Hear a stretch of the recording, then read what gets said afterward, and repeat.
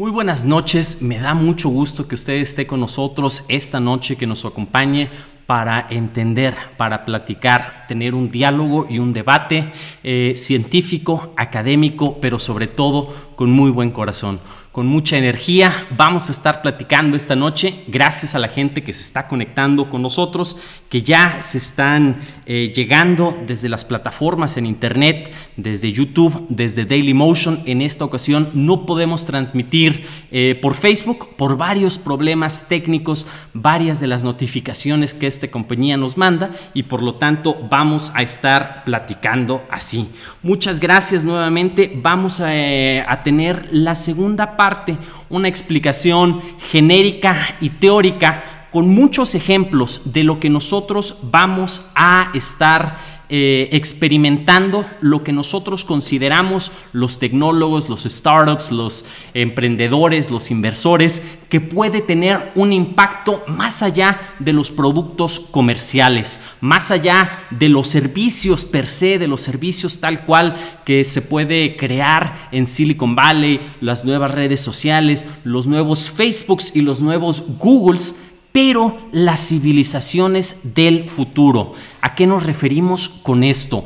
¿Cómo es que creemos nosotros los que trabajamos en blockchain, en inteligencia artificial, que las tecnologías tienen una moralidad, que las tecnologías tienen una ética intrínseca al creador de estas tecnologías, de estas startups y de estas nuevas ciudades producto que serán construidas durante los siguientes años para tratar de brindar opciones y alternativas a aquellas personas que no tenemos alternativas o posibilidades de emigrar de un, de un país a otro país, de una región a otra región, de una ciudad que es pobre, que tiene menos oportunidades, que hay violencia, que hay guerra, a una ciudad con más prosperidad, con más justicia, con más honradez, con más oportunidades sociales, especialmente para la eh, clase baja, para la, base, eh, para la base de la pirámide.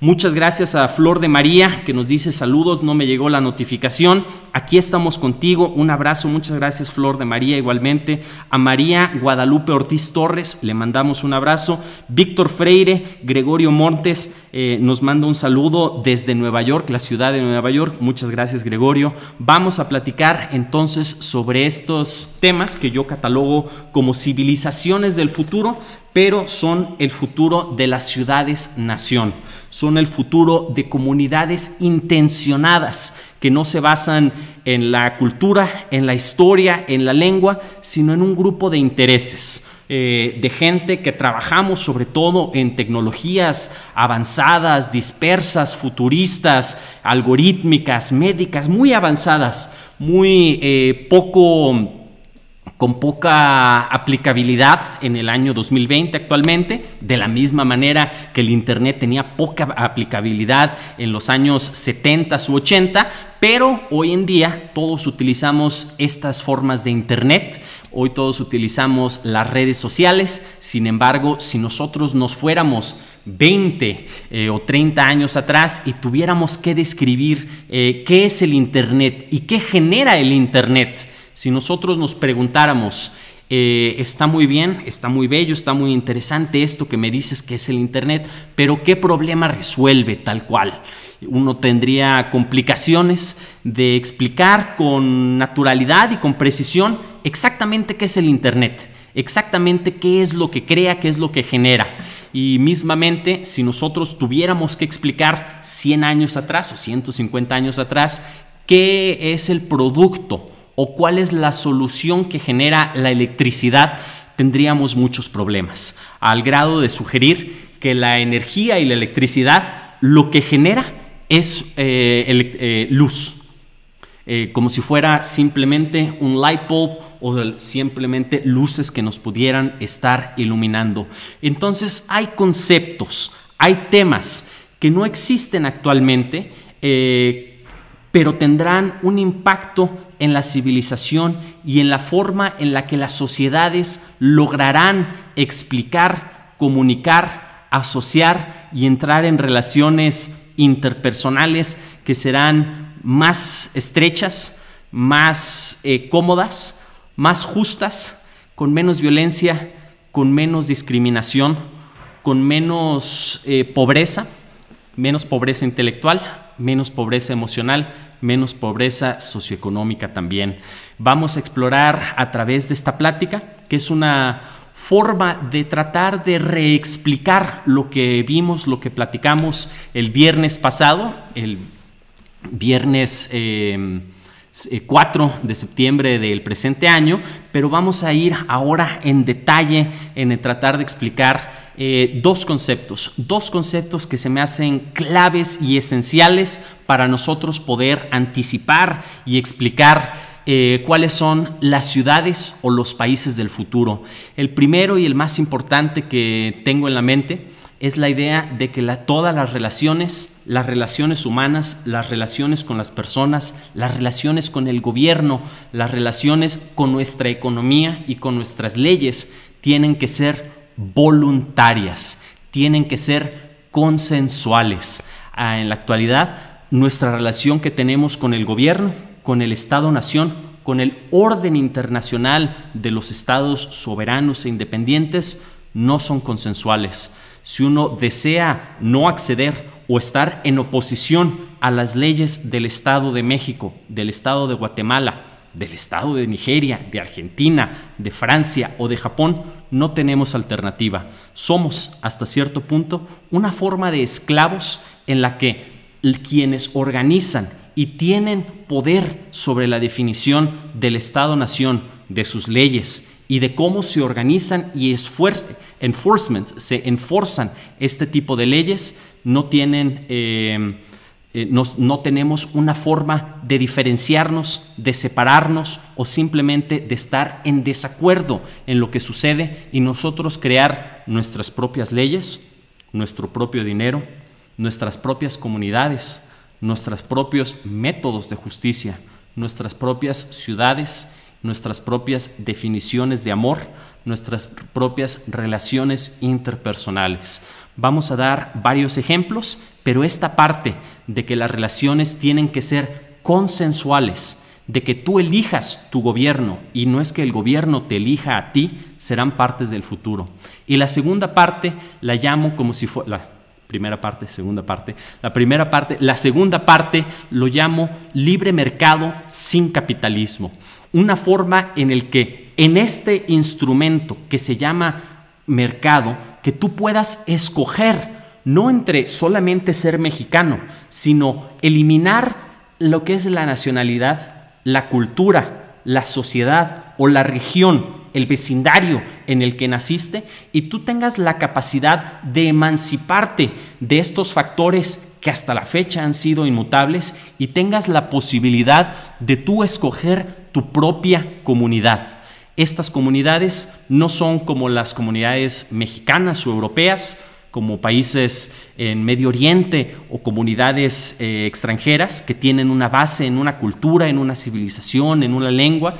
Europa, en términos genéricos, todos los países o casi todos los países representan una lengua. La gente de República Checa habla checo, la gente de Ucrania habla ucraniano, la gente de Rumania habla rumano, la gente de Grecia habla griego y por lo general esta región en la que existe un alto número de griegos es representada por el territorio, por la jurisdicción. Sí habrá minorías en partes de Turquía, habrá minorías en parte de, Bulgaria, de Macedonia, de otros países, pero en términos generales eh, un país representa a una lengua y esa lengua tiene mucha historia dentro de sí mismo. Las comunidades del futuro no tendrán esta fortaleza de lo que llamamos patriotismo o nacionalismo, en el que uno no tiene posibilidades ajenas de dejar de ser mexicano,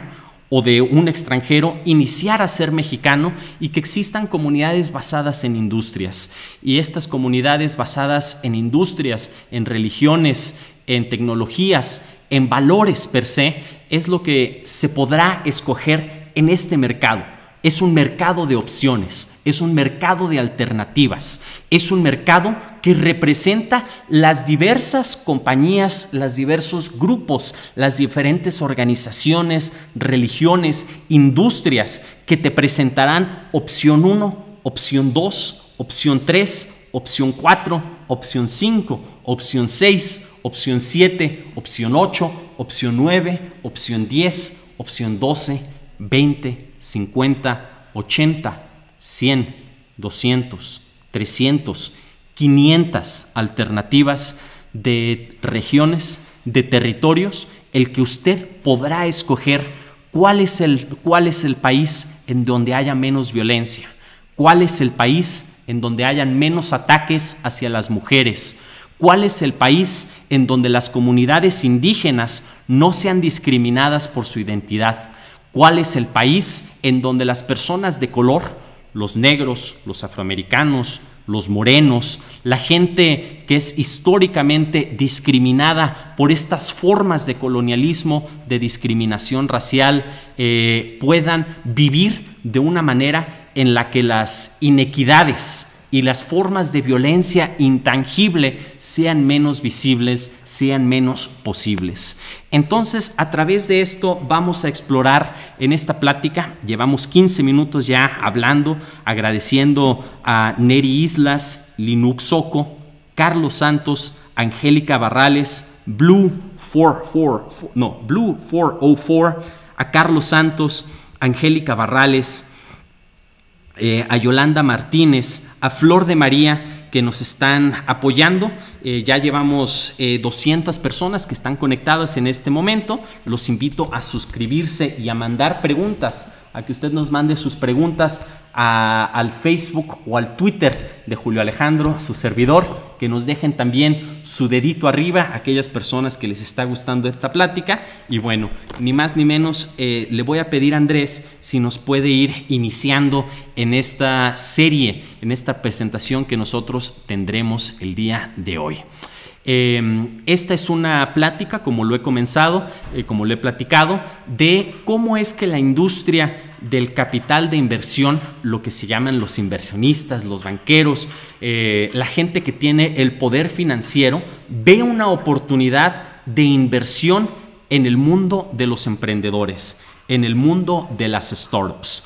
Por eso el venture capital está creando e inventando las startups que van a desnacionalizar, desmonopolizar y descentralizar o desterritorializar las funciones, las funciones y los servicios esenciales que crea, que genera un gobierno. Se establece que el Estado-Nación que sus orígenes van desde las definiciones de Maquiavelo, desde la paz de Westfalia de 1648, desde el concierto de Viena de 1815, de la creación moderna de los estados europeos en 1870 en Alemania y en Italia, así como los procesos de descolonización y de generación de nuevos países en el mundo árabe y africano en los años 50, 40, 50, 60 del siglo pasado, pues estos estados per se crearon un monopolio. Y este monopolio es lo que nos impide a nosotros como humanidad, como civilización, como sociedad, el poder experimentar de manera individual en cómo generar nuevos modelos de organización. Hablaremos de tres partes. Empezaremos con la producción de dinero de dinero afuera del Estado, afuera del gobierno. Actualmente el Banco de México monopoliza la creación, distribución y organización del dinero y de los sistemas productivos económicos actualmente. Actualmente el Senado, la Cámara de Diputados y las instituciones legislativas tienen un monopolio sobre la creación de leyes.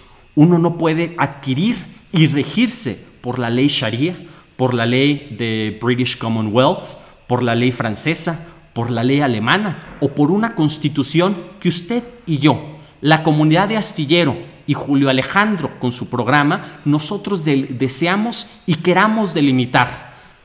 La parte legal está monopolizada por el Estado-Nación y la creación de ciudades alternas o de países alternos con la posibilidad de incluir a otros individuos que tengan o no nacionalidad, puedan llegar a residir y tener nuevas formas de organización humana en el estado de Campeche, en el estado de Durango, en el estado de Aguascalientes o de San Luis Potosí, actualmente están prohibidos. Nosotros no podemos experimentar en la creación de nuevos países. Por eso es que no sabemos cómo y de qué manera podrían salir los nuevos países. Nosotros podemos experimentar en la creación de libros y ver de qué manera las novelas, las autobiografías, los libros extranjeros,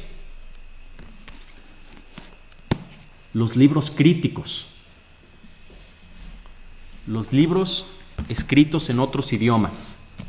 Nosotros podemos crear literatura interminable, perenne, abierta, de forma natural, de forma orgánica, y así que nosotros como sociedad identifiquemos y podamos realizar cuáles son los mejores textos, cuáles son las narrativas que deseamos leer, cuál es nuestro género literario, ciencia ficción, narración, poesía, la que más nos gusta, la que más nos interesa y apasiona.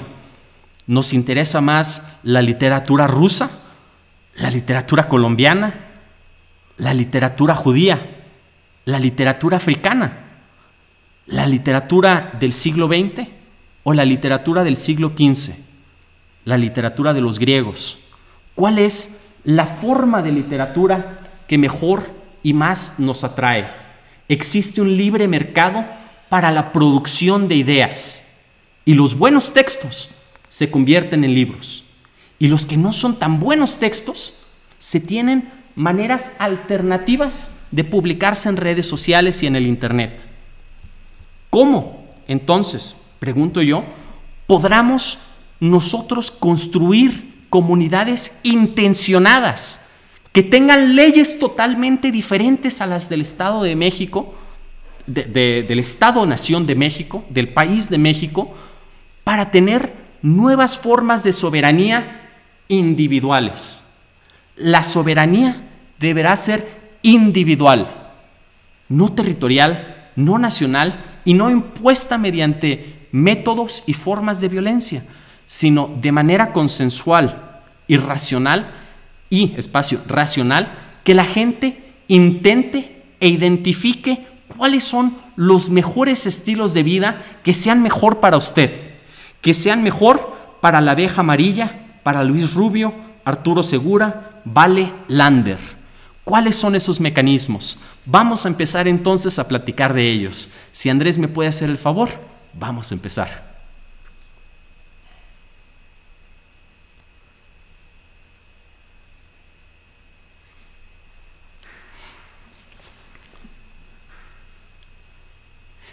Y en esta primera ocasión, nosotros tenemos que analizar, eh, explicaremos tres partes. Explicaremos, como hemos dicho, la parte teórica, la ética. La ética y la necesidad de nosotros construir un nuevo futuro más justo, más humilde, menos violento, con más oportunidades. Vamos a platicar de quienes están creando estas comunidades per se y daremos ejemplos hasta el final de esta comunidad, hasta el final de, esta plática, para que ustedes identifiquen cuáles son las mejores opciones, en qué proceso están, cómo se emigra a estos lugares y que tenga una mejor oportunidad de mejorar su vida tal cual. Vamos entonces a iniciar, si pudiera Andrés eh, cambiar la siguiente.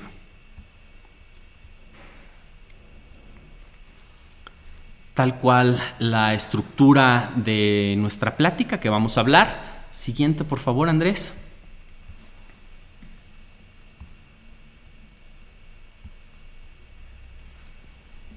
Algunos ejemplos de comunidades. Le voy a pedir a Andrés si posteriormente nos puede identificar para la parte em, eh, para la parte de los ejemplos, iniciar con la desmonopolización, no de los territorios, pero Andrés, por favor, si podemos iniciar en la parte, en la slide número 15, por favor.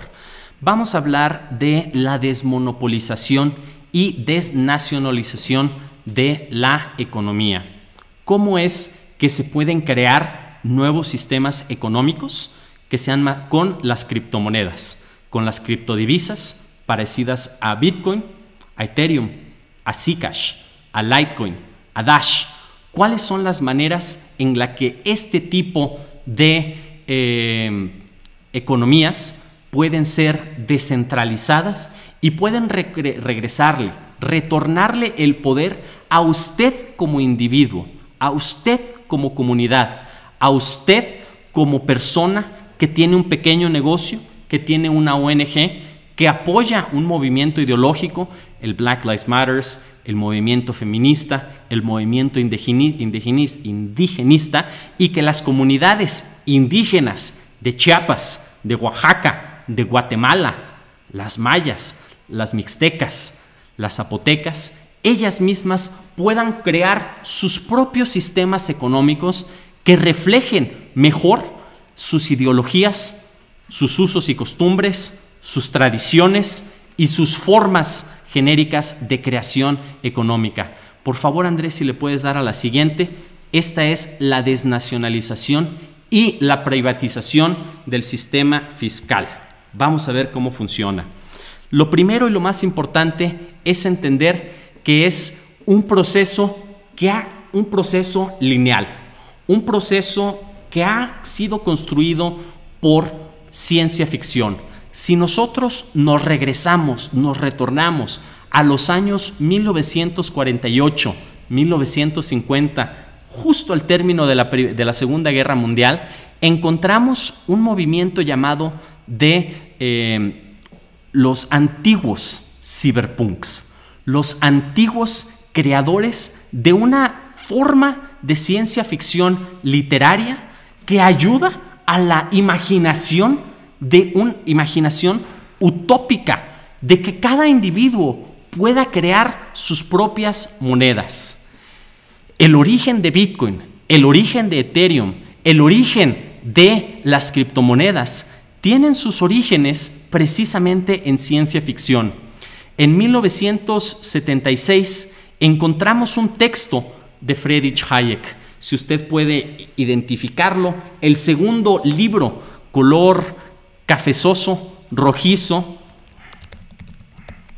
eh, rojizo del Premio Nobel de Economía de 1974, austriaco, eh, que nos ayuda y nos posibilita a identificar qué es la manera y cuáles son las formas de crear economías privadas y privatizadas. Uno de los problemas o el problema esencial que, eh, que trata este texto es de la falta y de los problemas de tener competencia y rivalidad, una lucha, un duelo, un reto, un enfrentamiento entre diversas ideas y así identificar, como vemos, cuáles son los mejores libros y cuáles son los libros que más nos favorecen, que más nos identifican, que más nos apasionan y queremos nosotros tener una relación con estos libros, cuáles son las formas en las que múltiples organizaciones podrían crear estos sistemas económicos. Uno de los ejemplos y la, finalidad de las criptomonedas, como Bitcoin, no es per se tener un sistema que existe afuera del, del gobierno o del Estado, sino que cada organización, cada institución, cada universidad, cada comunidad indígena pueda tener sus propios criptomonedas y sus propios sistemas económicos. ¿Es que realmente la Universidad de Cambridge es mejor que la de Oxford? ¿Realmente podemos asegurar que la UNAM es mejor que el TEC de Monterrey? ¿Que el ITAM es mejor que la UDG? ¿Que la Universidad de Monterrey es mejor que la Universidad de Campeche? No lo podemos identificar.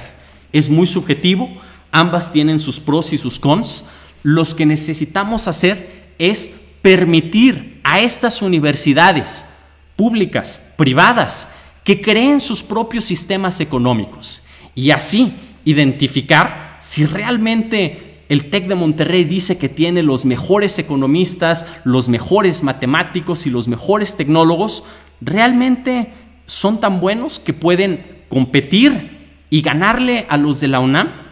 Y si los de la UNAM dicen ser mejor que la Universidad de Guadalajara, ¿no podríamos y deberíamos tenerlos en competición? Es que Amnistía Internacional, artículo 19, Human Rights Watch o los mismos organismos eh, de derechos humanos en México y en América Latina, ¿no podrían tener ellos sus propios sistemas económicos? Si es que una compañía como Apple, que tiene altos niveles, fuertes niveles de tecnología, ellos no pueden competir contra Microsoft, contra Dell, contra Samsung, contra Sony. No pueden ellos. Y si ellos crearan el dinero, no tendríamos múltiples oportunidades de observar cómo estos sistemas económicos mejoran, empeoran, uno es mejor, el otro es peor, y lo mismo con las ciudades de México. No podríamos y tendríamos el derecho de que la comunidad, la ciudad de Guadalajara, tuviera su propio dinero. Y si es mejor su sistema económico, la gente comprará más de este dinero, como actualmente la gente compra los dólares, compra los euros, compran eh, las libras esterlinas, pero dejan el bolívar venezolano, dejan el dinero de Argentina, dejan el dinero de Zimbabue por las malas administraciones que estos países, comunidades han tenido.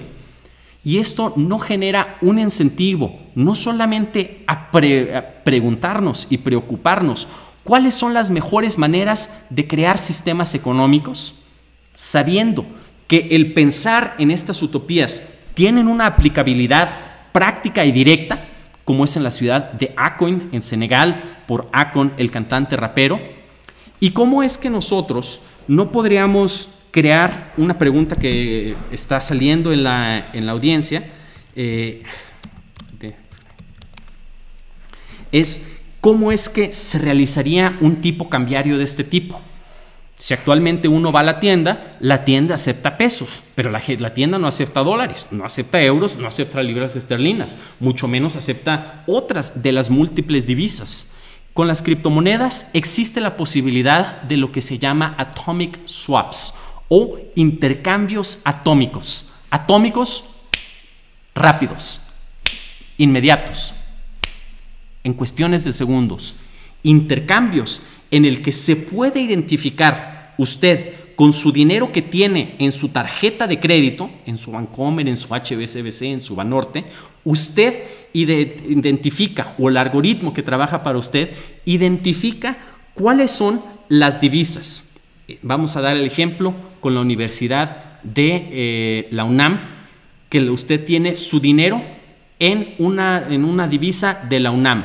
La UNAM identificará todos los otros divisas que existen en el portafolio y hará una comparación con el peso mexicano, el dólar, el euro, la libra esterlina.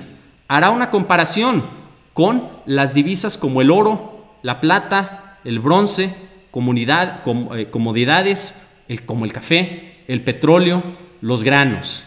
Hará una eh, comparación con los bonos que usted paga contra las otras criptomonedas, Bitcoin, Ethereum, Dash, etc. Y con todas las oportunidades y comparará cuál es el tipo de cambio más preciso y que más le favorece y usted hará el intercambio automático de la misma manera que si usted está viajando con su tarjeta de Bancomer mexicana y viaja a Nigeria o Argentina, se hace la traducción inmediata de pesos mexicanos a dinero de Argentina.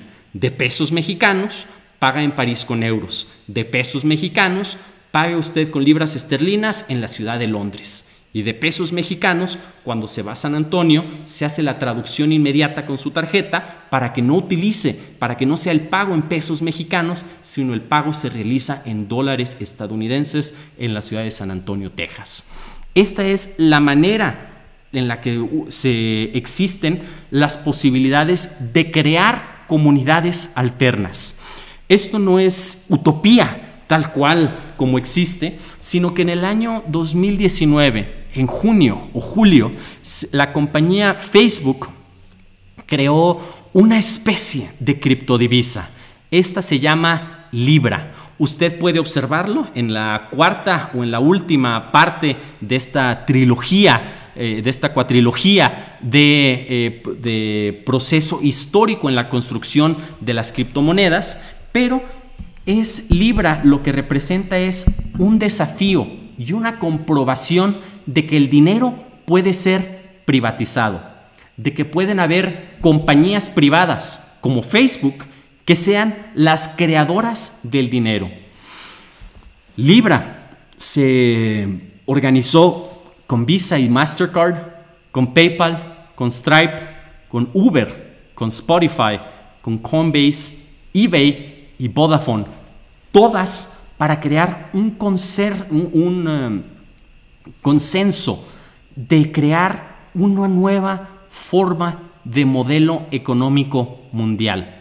Fue el primero, fue el más importante porque comprobó y sigue comprobando que una compañía privada como el TEC de Monterrey, como Facebook o como la ciudad de Guadalajara pueden crear su propia moneda que pueda ser alterna y que puede liberar a aquellas personas que no están conformes con eh, su sistema económico. Es una forma que permite tres cosas. Permite eh, la desaparición de los bancos centrales. Eh, una de las finalidades de las criptomonedas es el asesinato, la muerte de los bancos centrales como instituciones. Al cada individuo poder crear sus propios criptomonedas es la muerte, la desaparición, porque existen nuevos modelos económicos más avanzados, más justos, mejor organizados y más transparentes que permiten la creación de este tipo de economías. Igualmente, permite eh, el término del estado de bienestar, de la recaudación de impuestos. Si cada quien puede tener su propia economía, cada quien puede determinar y la soberanía es individual y no social, si la soberanía depende del ser humano, de la persona legal, con su cuerpo, con su alma, con su corazón, con sus músculos, y no de lo que el gobierno o las asociaciones gubernamentales implementen contra el individuo, significa que uno puede decidir si es que ellos desean pagar impuestos, si no desean pagar impuestos, cuántos, hacia dónde se van dirigidos y por qué. Se tiene control sobre su propio dinero. Si usted gana 100 pesos, si usted tiene 100 vacas, las 100 vacas seguirán siendo de usted, no del gobierno. Las 30 vacas que se pagan de impuestos se quedarán con usted y usted decidirá de qué manera puede invertirlas o puede donar, eh, invertirlas para su mejoría personal o puede eh, donarlas para eh, el crecimiento de la sociedad. También el dinero como tal no podíamos nosotros crear este tipo de alternativas hace 20 años, hace 50 años. Podríamos explicar las características técnicas de Bitcoin, de las criptodivisas, pero más allá es importante preguntarnos cuál es el origen del dinero, cómo se crea una economía, cómo se crea una economía basada en justicia, cuáles son los orígenes de la innovación uno tiene derecho de crear economías alternas, uno tiene derecho de innovar más allá de lo permitido por el Estado, por la nación y sus leyes. Y de ser así, ¿cuáles son las características que una forma económica debería tener? Las economías, las eh, monedas antiguas, tienen características de durabilidad, de portabilidad, divisibilidad, uniformidad, aceptabilidad universal. Se dicen que las monedas y que los sistemas actuales tienen las tres características de ser un medio de intercambio, medium of exchange, en donde usted pueda cambiar este tipo de criptomonedas o criptodivisas en el banco, en el Starbucks, en una plaza, para cualquier persona sea universalmente aceptable, se dice que el dinero también es un depósito de valor, store, eh, store value, en donde en lugar de cargar lingotes de oro que valgan miles o decenas de miles de dólares estos lingotes de oro, uno pueda tener este dinero concentrado en los bancos y la forma que los bancos le representan y le autorizan y verifican que tengan esta cantidad de lingotes de oro en el banco es por los sistemas bancarios. Su tercera característica es que tienen que ser una unidad de contabilidad. Imagínese usted que nosotros tengamos una economía en donde yo le debo tres sandías y medio melón. ¿Cómo es que ese medio melón puede ser aceptado por todas las personas? ¿Qué pasa si el melón se pudre? ¿Qué pasa si el melón se echa a perder?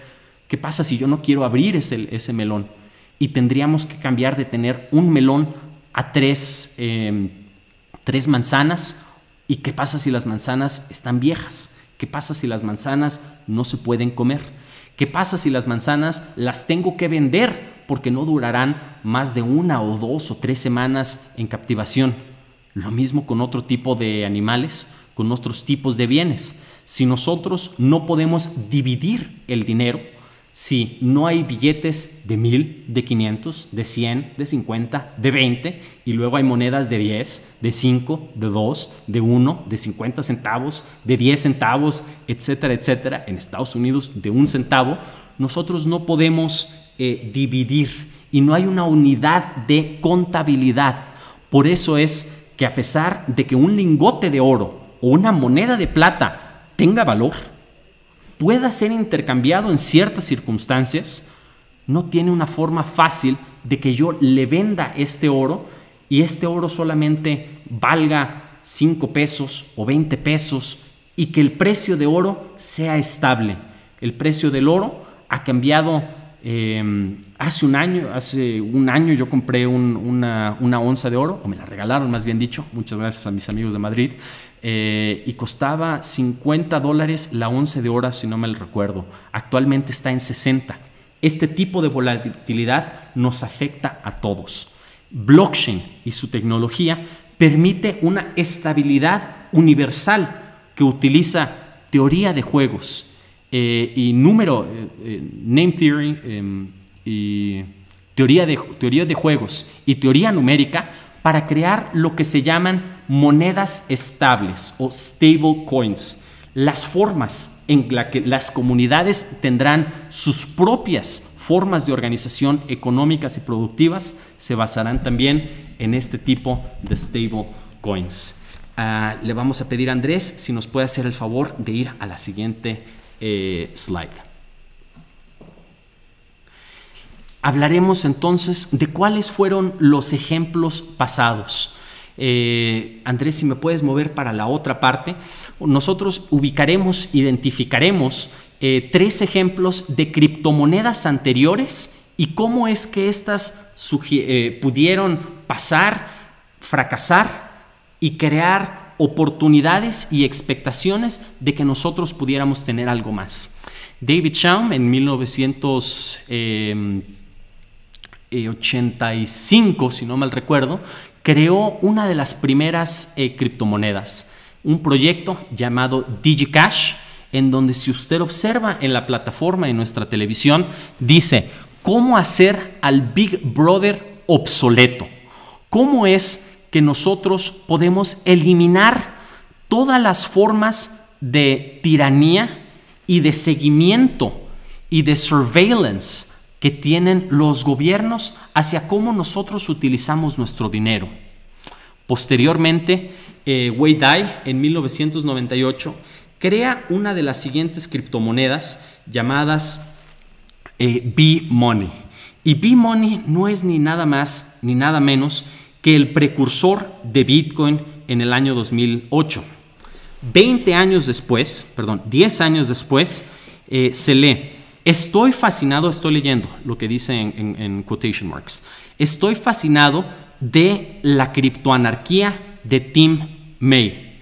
En lugar de cómo las comunidades tradicionalmente asocian el término de anarquía, en la criptoanarquía el gobierno no es temporalmente destruido, sino permanentemente prohibido y permanentemente innecesario.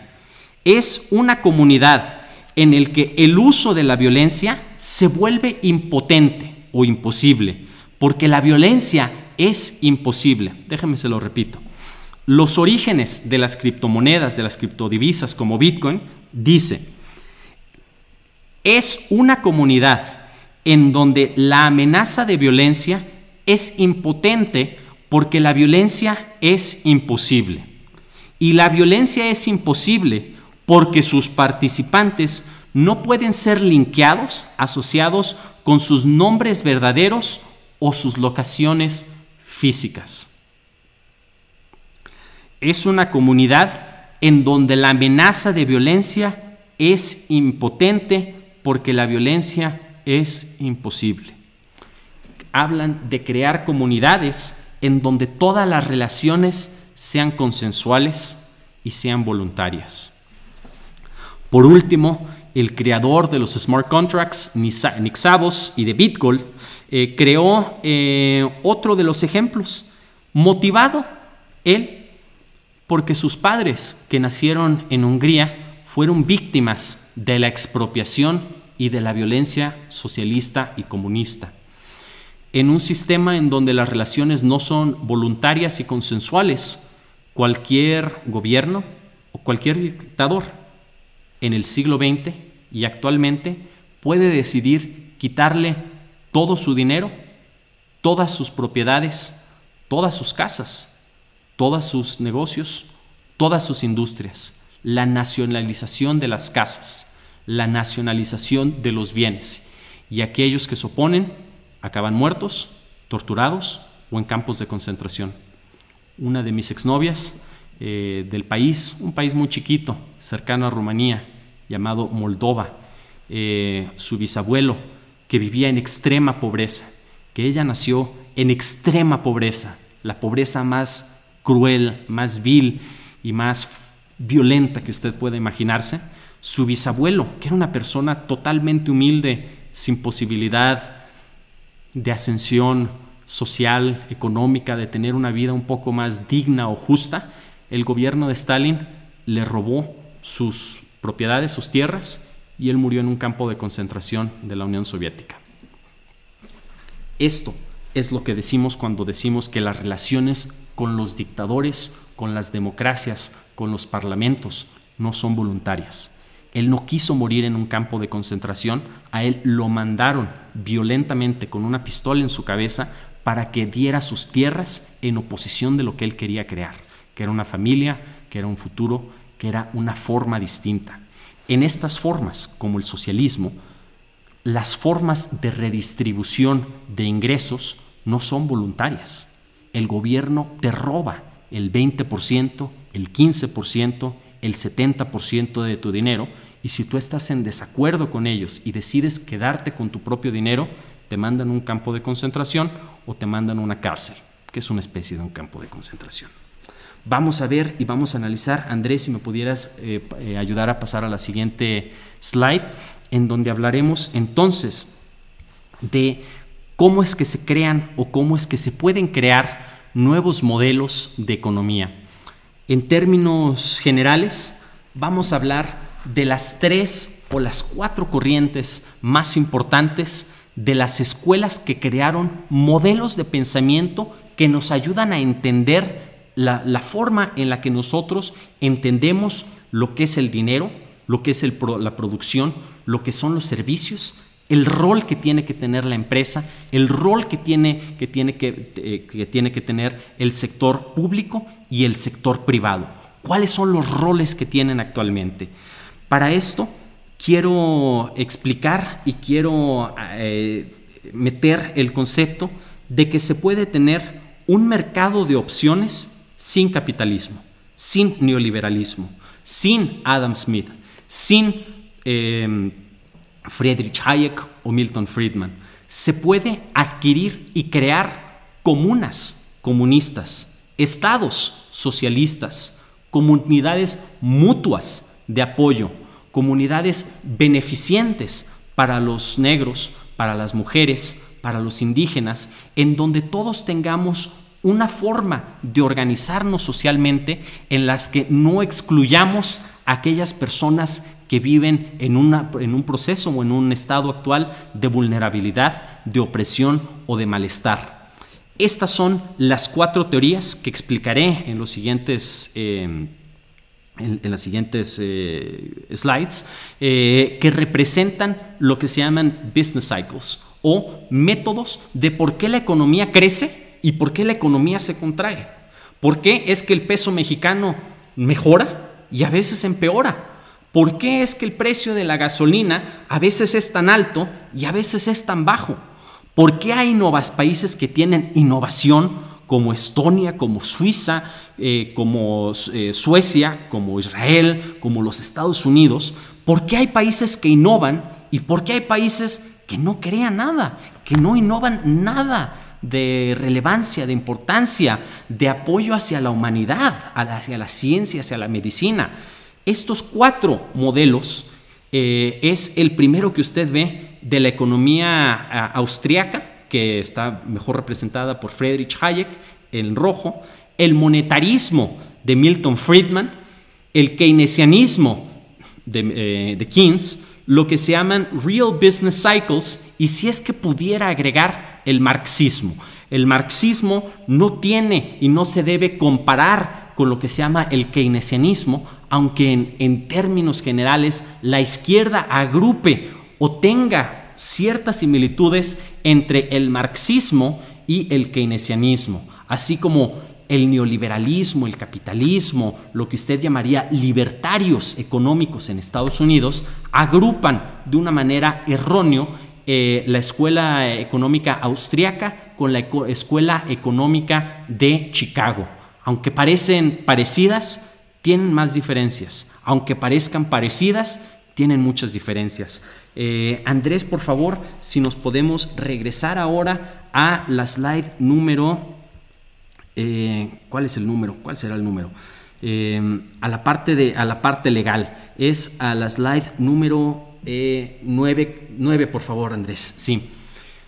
Si se pueden crear entonces métodos, cada individuo puede tener la posibilidad de crear su propio moneda, su propio sistema económico más justo, más redistributivo, que ayude a la gente pobre a la base de la pirámide, es que nosotros podemos tener también leyes individuales, una soberanía no nacional, pero soberanía individual.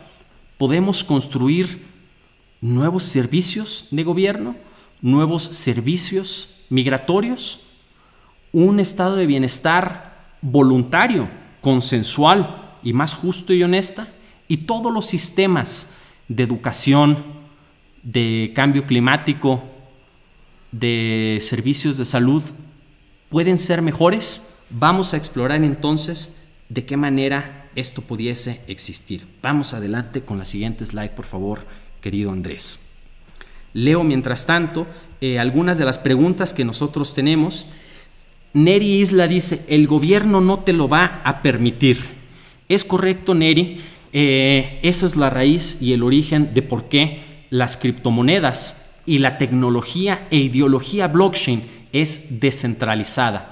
Descentralizada es otra palabra, otro término para decir que no puede ser detenida, que no tiene un single point of failure, que no tiene una forma en la que un gobierno, una agencia militar, el Mossad, el ejército de Estados Unidos, eh, las agencias antiterroristas de, Gran Bretaña puedan detener Bitcoin.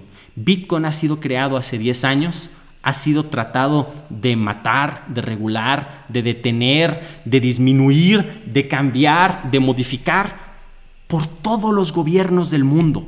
Y hasta la fecha es el único sistema en la historia de la humanidad que yo conozco al menos, en la que ningún gobierno lo ha podido matar.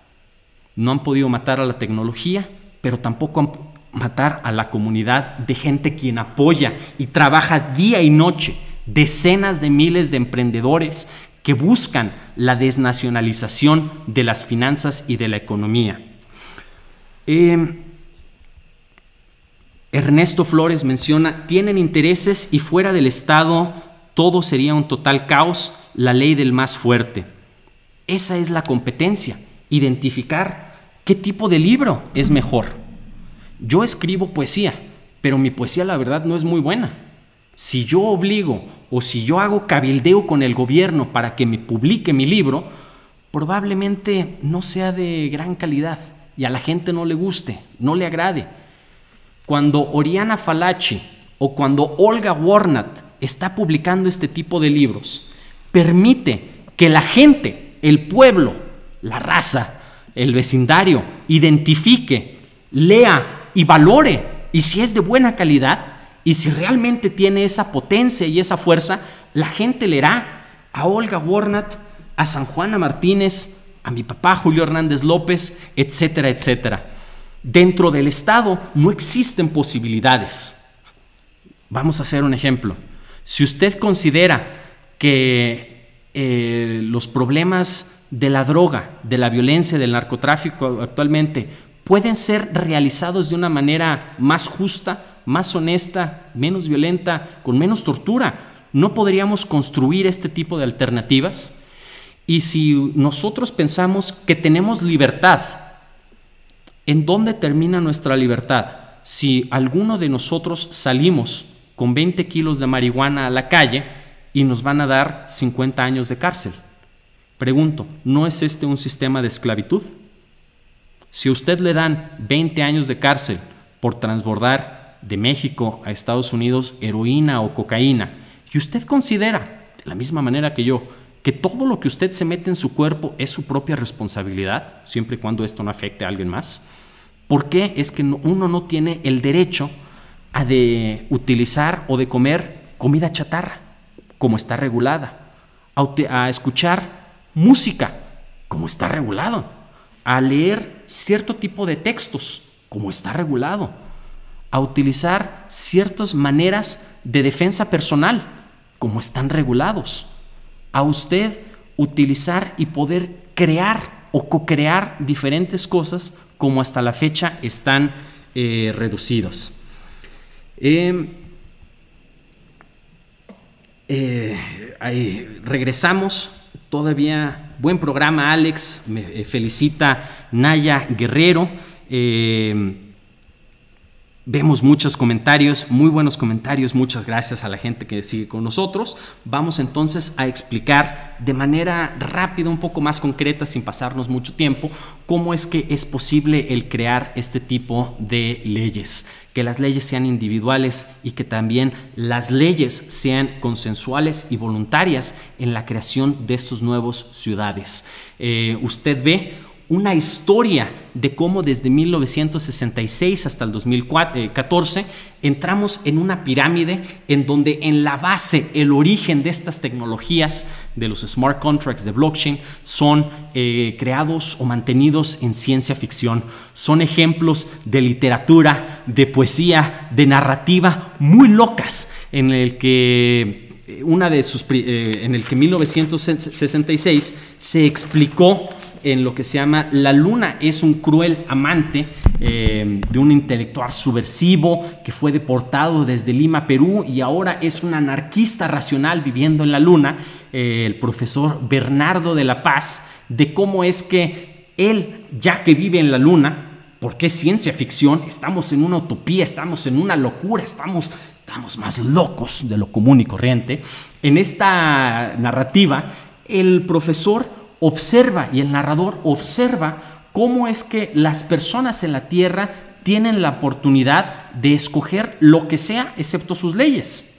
Y en este sentido, yo lo aterrizo y a mí me gusta explicar, dar esta alegoría de cómo cuando vamos a un bar tenemos más oportunidades, hay más democracia en un bar que democracia en la política. En un bar nosotros podemos escoger qué tipo de bebidas tenemos, podemos escoger si queremos tequila, si queremos tequila, si queremos cerveza, si queremos gin, si queremos ron, si queremos un cóctel, si queremos vino. Y si queremos vino, lo queremos el vino de México o de Estados Unidos o de Nueva Zelanda, o le gusta el vino de California, de Francia o de Italia. También podemos elegir eh, la cantidad, podemos comprar la botella entera, podemos comprar una garrafa, podemos tener un, vaso de, 250 mililitros o de 125 mililitros y podemos pedir varios eh, productos alternativos y competitivos, como puede ser pedir en un bar una cerveza, un vaso de vino y un cóctel de eh, ginebra. Los podemos tener los tres a la vez, pero nosotros no podemos escoger nuestras leyes. Hay más democracia en un bar que, democracia en una asamblea legislativa. ¿Por qué?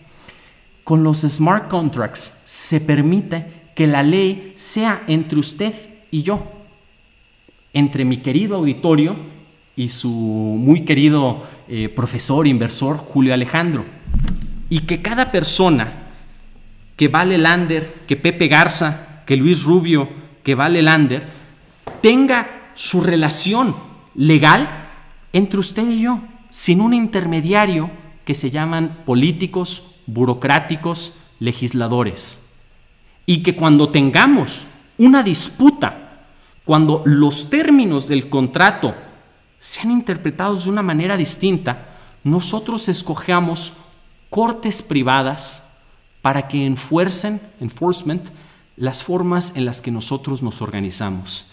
Esos son los smart contracts. Y usted está viendo a Aragon, Augur, a Eternity, Ulex, BitNation, Civic, cleros, que son formas hasta cierto nivel de tratar de crear un mercado de leyes, en donde en este mercado usted y yo, usted abeja amarilla y yo, usted Rodríguez Pérez y yo, usted Omar Valladares y yo, Marisan y yo, tengamos una relación directa más allá de lo que diga la Constitución de Estados Unidos, de Japón, de México, la ley cristiana, sharia, judía o lo que sea. Hay que crearla usted y yo en los términos que se le sean convenientes a usted y que me sean convenientes a mí. Estos métodos incentivan mejores formas organizativas. Si podemos cambiar, Andrés, por favor.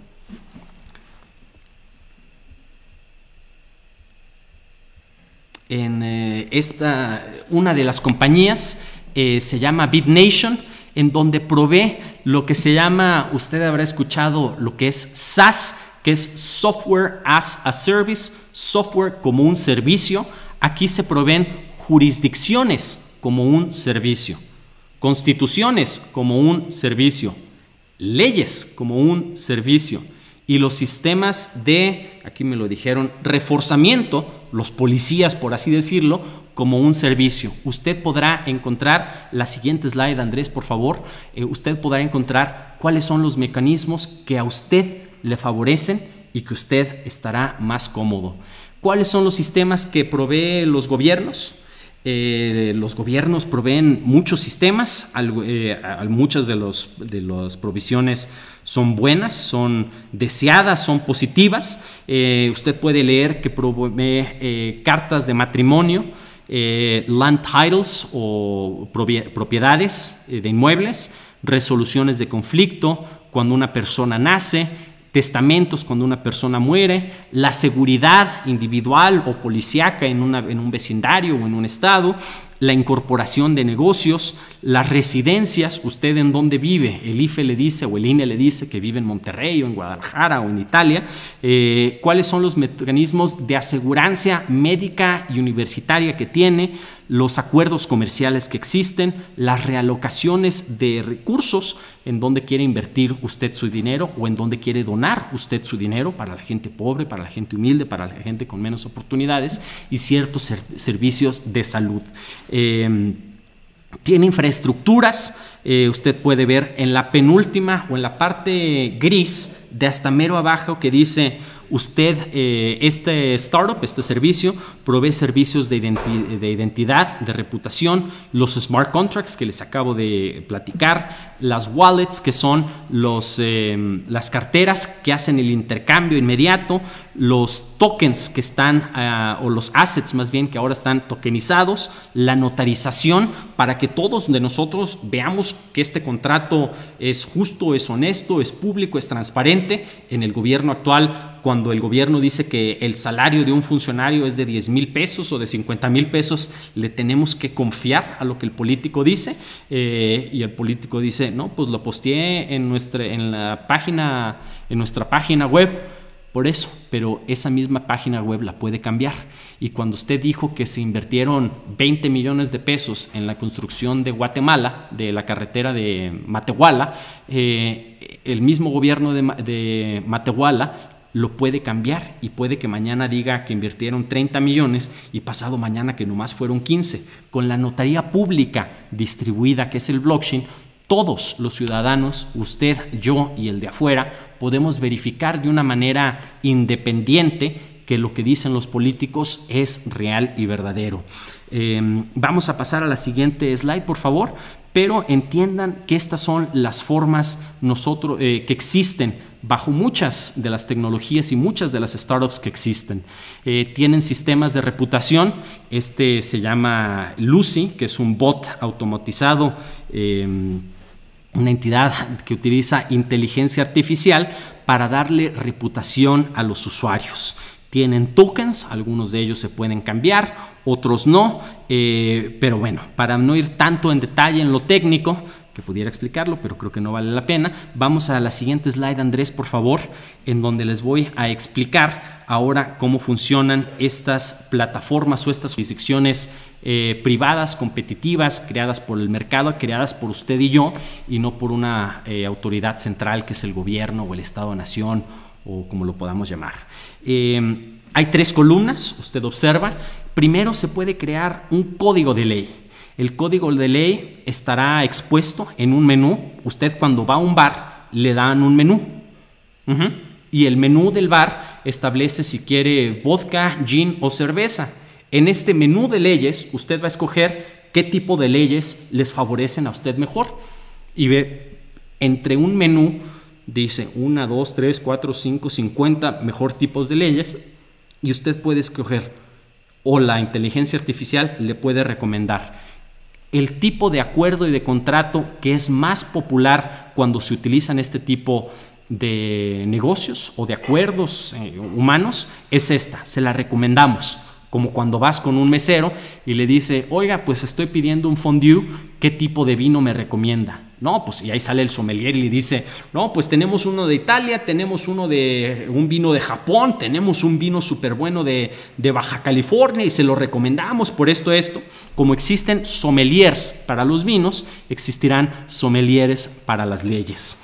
Eh, ¿Qué pasa si, bueno, ya escogimos la ley? La siguiente columna, ¿qué pasa cuando necesitamos arbitración? Como se diga eso en español. O sea, cuando necesitamos a un grupo de personas que digan, no, a ver, aquí hay dos partes o múltiples partes que no estén de acuerdo en los términos del contrato, vamos a ir con ese juez que tiene muy buena reputación, que se sabe que es honesto, que es justo, que hemos trabajado con él en el pasado y él y lo que él diga, los dos partes o muchas partes nos vamos a acotar a su eh, resolución. Esto es mejor que en el sistema actual porque si nosotros tenemos un conflicto, en, eh, un conflicto comercial o un conflicto de padre de divorcio o cualquier tipo de conflicto entre humanos, pues tiene que regirse en lo que diga la Constitución mexicana. Y buena suerte lidiando con las leyes mexicanas, con los jueces mexicanos y con la policía mexicana. Eh, por último, en la última columna dice cuáles son los mecanismos de enforcement. Los, si usted creamos al principio la ley, luego dijimos eh, vamos a escoger a estos jueces, pero luego yo me voy para atrás y digo, no, a mí me vale gorro, sí lo dije al principio, pero yo no, voy a, no lo voy a hacer y me vale gorro y hagan lo que quieran y yo no voy a respetar la ley, papa, papa, papa, eh, ¿quién me va a obligar a que yo, eh, a que la decisión del juez sea eh, eh, enforced de una manera menos violenta, en que no vengan aquí a tocar personas con, con una badge azul que se digan ser policías y si yo me rehuso me, me, saquen las pistolas y luego yo les saco mis pistolas y creamos una guerra eterna. No, los mecanismos de enforcement también van a ser ejemplificados por eh, reputaciones digitales y nacionales en lo que se llama un sistema crediticio.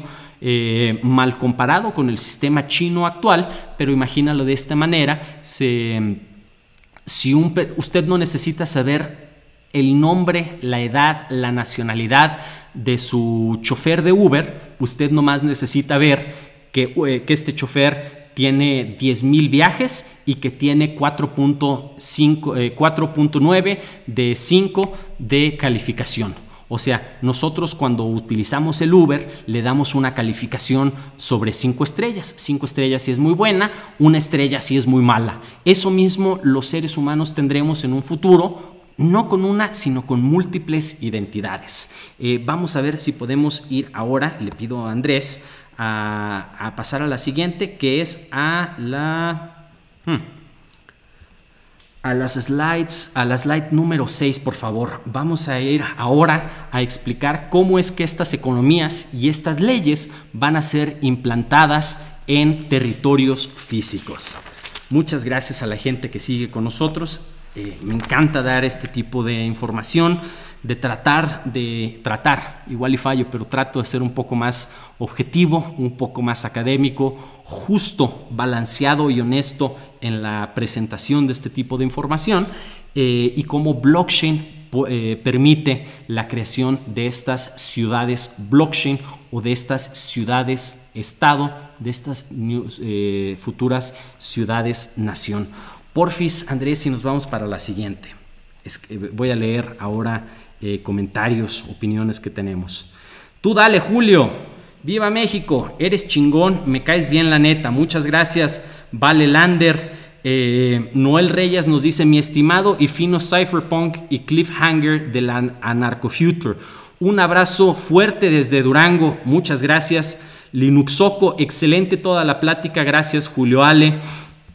Eh, Neri Islas dice hay que ser responsable en todo el sentido de la palabra si quieres un negocio para un buen rato. En efecto, eh, te entiendo perfectamente, dice Frida, Beatriz, respondiendo a una eh, posición. Eh, felicidades por tu programa, que ha apasionado siempre, dice Gaby Jai. Muchas gracias. Víctor Omar Luciano está buenísimo. Ea Isulay Carnalito, Noel Reyes, muchas gracias, muchas gracias. Bueno, estos son eh, algunos de los ejemplos que existen actualmente de comunidades intencionadas, de nuevas ciudades, estados, eh, que tienen cierto nivel de autonomía eh, conforme al eh, estado actual receptor. En la parte de hasta arriba eh, podemos ver una imagen de unos 1500 personas. Ellos están en el estado de New, Hampshire. Si usted ubica ahí a una persona morenilla, como medio barbona, que le falta una camisa y parece mexicano y se parece a mí, ahí lo van a identificar. Yo estaba en ese mismo Porkfest en el año 2014 en New Hampshire.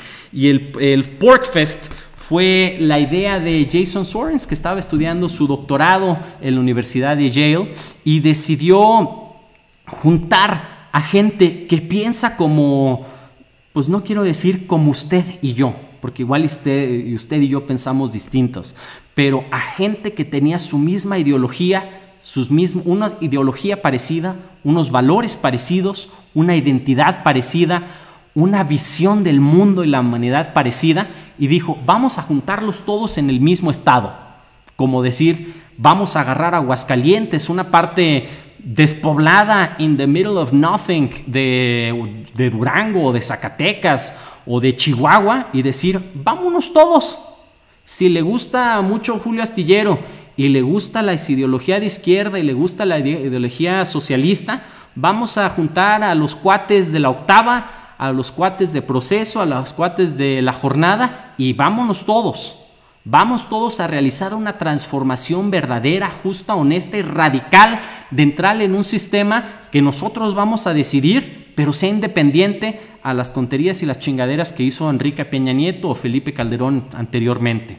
Y estas personas, que todos son mexicanos, todos hablan español, todos están medio pretitos como yo, todos ellos decidieron crear una mudarse al mismo estado, en este caso New Hampshire en Estados Unidos.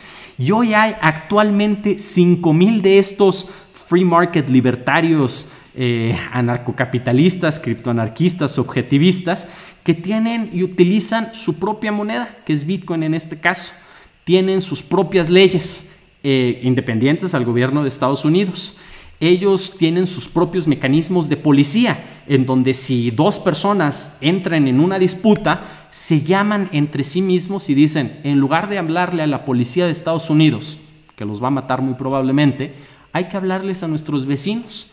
Y entrenan de manera profesional para tener eh, policías privados entre ellos mismos. Creo que se llama la aplicación 404, no me acuerdo cómo se llama la app. Pero entre ellos mismos van para desescalar un problema social que existe dentro de ellos mismos. Y también aceptan eh, de una manera muy buena, muy fuerte, a los migrantes, a los mexicanos, a los centroamericanos, a toda la gente que busca vivir en paz y sin violencia. La segunda parte es... Em, si nos vamos un poquito, eh, si nos vamos abajo, vamos a ver el programa de Estados Unidos del estado de Nevada, cerca de Reno, de la capital, un poquito arriba, eh, que se llama Blockchain LLT, eh, LLTD, algo así, en donde se realizaron 300 millones de dólares de inversión. Tiene un equipo de trabajo de 70 personas para comprar 67 mil acres o hectáreas en donde van a vivir miles, decenas de miles de personas y van a traer nuevas formas de inversión en lo que es una de las ciudades más exitosas de blockchain. Es una blockchain city, una ciudad blockchain que se utiliza tecnología blockchain, evidentemente, pero más importantemente, eh, se utiliza la ideología para atraer a la gente, a los emprendedores, a los jóvenes, a todos los inversores, toda la gente que le quiere poner las pilas hasta la última parte. Veremos em, a Akon, eh, que usted recordará, no le quiero cantar porque si le canto yo aquí ahorita una de las canciones de Lonely, I am so lonely, I have nobody. Na, na, na, na. Oh, Mr. Lonely, you are so lonely. We have nobody to turn. Híjole, se nos fueron cuatro mil personas ahorita, ya no tenemos a nadie. Yo les digo que canto más o menos, pero la gente no, pues no le gusta mucho. Al contrario, eh, Andrés, si podemos ir preparando eh, los links para entrar a, que yo ponga eh, los websites para que vamos, eh, vayamos haciendo una ejemplificación de estos mismos, estaríamos muy bien. Ahora quiero explicarles y quiero darles ejemplos un poco más visibles, un poco más prácticos de este tipo de, tecnologías o eh, tecnologías que crean ciudades o ideologías que crean ciudades o ideologías que crean tecnologías cuyas tecnologías crean ciudades de una manera eh, muy avanzada. Cuando ya estemos listos, nomás me diga Andrés, por favor, para, para, para empezar a darle. Bueno, pues va. Tú me dices, Andrés. Sí, sí, sí. Bueno, pues voy a darles eh, algunos ejemplos. Quiero aquí mismo, voy a, a darle los clics y estas ya las vimos en, forma, en, anteriormente, no vamos a pasar mucho tiempo viéndolas o explicándolas, pero quiero darles uno de estos ejemplos. Esta es la fundación que organiza a todas las comunidades internacionales. Le quiero recordar que hay 4.200, hay personas que dicen que hay 4.600 eh, zonas especiales económicas. Eh, hay dos, eh, la ciudad de Dubái, la ciudad de Abu Dhabi ya existe tal cual como zona especial de gobernanza y bueno, pues tienen muchos de los ejemplos. una de ellas es Shenzhen, otra es Mónaco, otra es Dubái, eh, otra es Hong Kong, por ejemplo. Este tipo de comunidades ya existen, han existido por los últimos 50, 80 años probablemente. Hay eh, villas ecológicas, eh, la mayoría de ellas en Europa, hay en Bulgaria y en Rumania, hay muchas en Estados Unidos, simplemente de gente que no está contenta con el sistema y dice vámonos todos juntos para allá. Hay microestados como Liechtenstein, hemos comentado de los otros estados chiquititos que fueron construidos de una manera un poco extraña. Liechtenstein que está... Em, al ladito de Suiza y al ladito de Austria, un país germánico con 40 mil habitantes, su capital es Vaduz y se tiene acceso directo al rey, se tiene acceso directo al monarca, lo cual hace una manera muy fácil de hacer negocios. Por eso es que mucha gente le gusta irse a Estonia, a Liechtenstein, porque tienes acceso directo a tus gobernantes. Y en lugar de crear un sistema federal para los Estados Unidos o para México, el sistema federal, por así decirlo, pues es una supercomunidad chiquita de 40 mil personas. Entonces, todos los trámites burocráticos se aprueban muy rápido y eficientemente. No lo alcanza a ver aquí, pero son las eh, comunidades intencionadas. Eh, son ejemplos que existen en el alta mar, son ciudades inteligentes también eh, como Dubái. Tienen muchas cosas, que algunas cosas son en parecido, que tienen muchas similitudes. Vamos a bajarle un poquito más. Eh, que tienen varias características.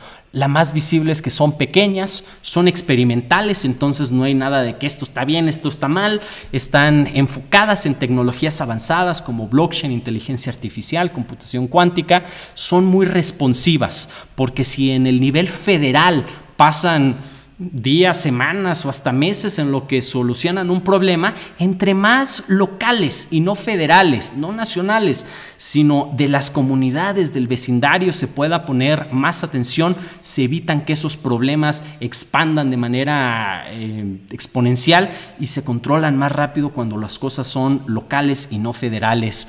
Eh, tienen muchas características uno de los inversores principales, porque todo esto es muy bello, yo lo felicito, pero ¿quién está poniendo el dinero?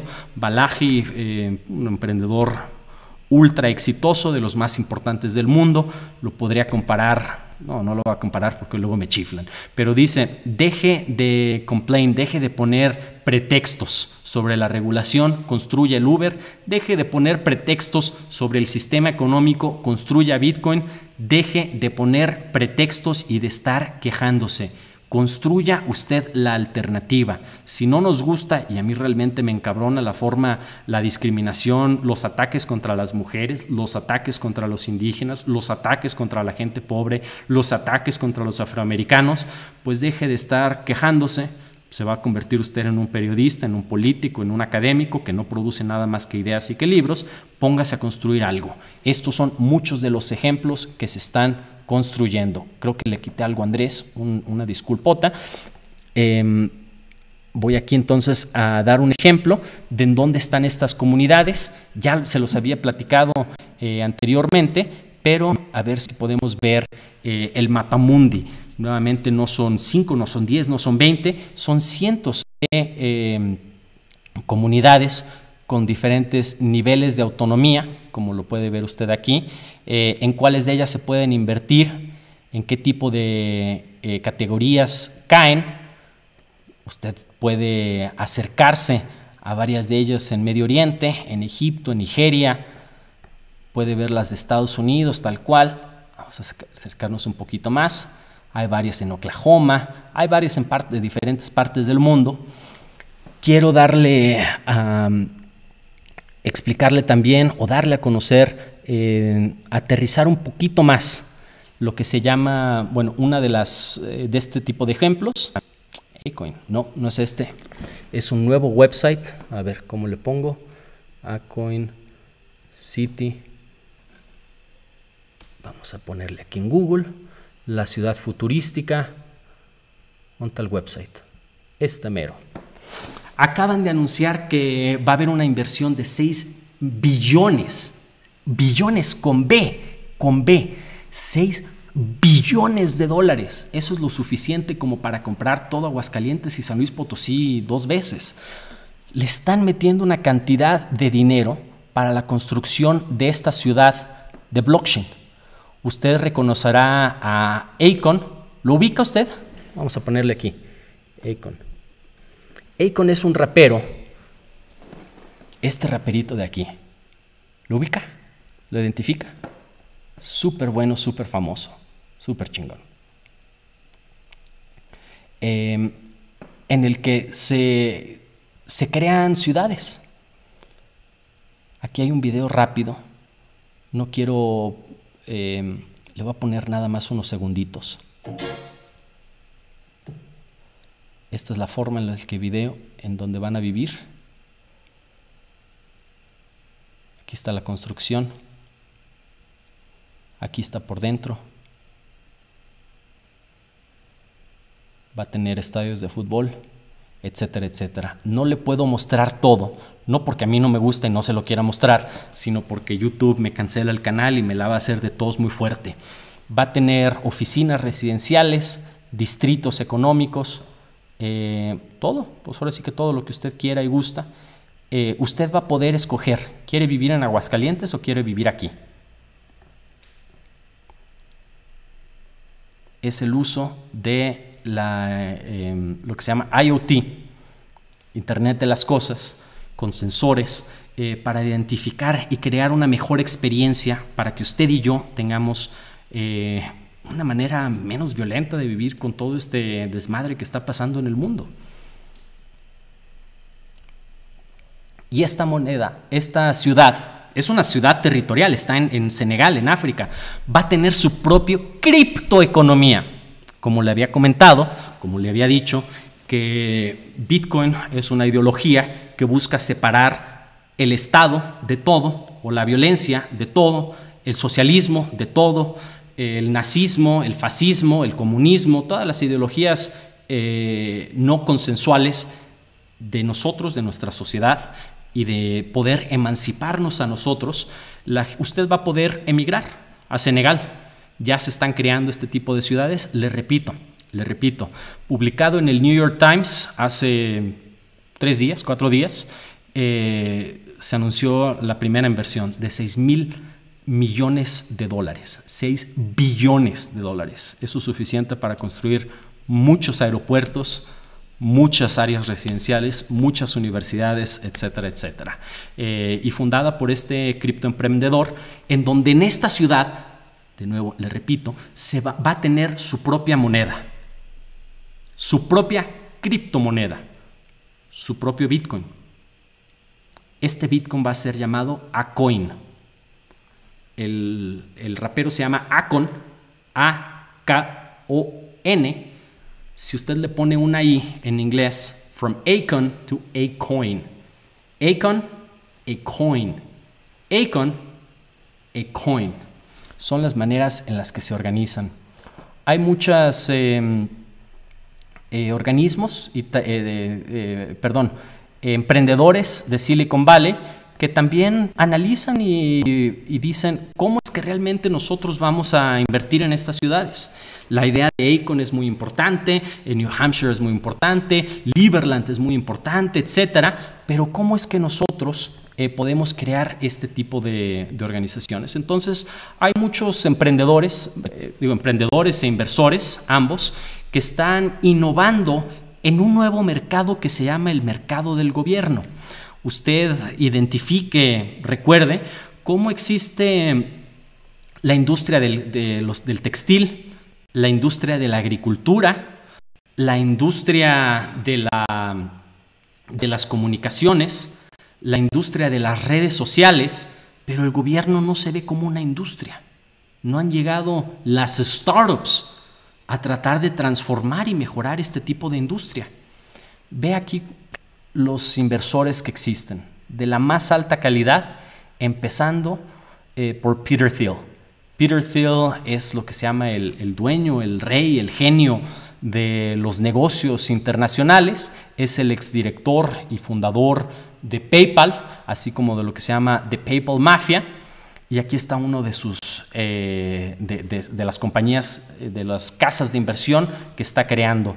Esta es generada por Patrick Friedman, Él es el nieto del premio Nobel de Economía Milton Friedman. Usted habrá escuchado de sus eh, libros, de sus videos muy famosos, Free to Choose, del economista Milton Friedman.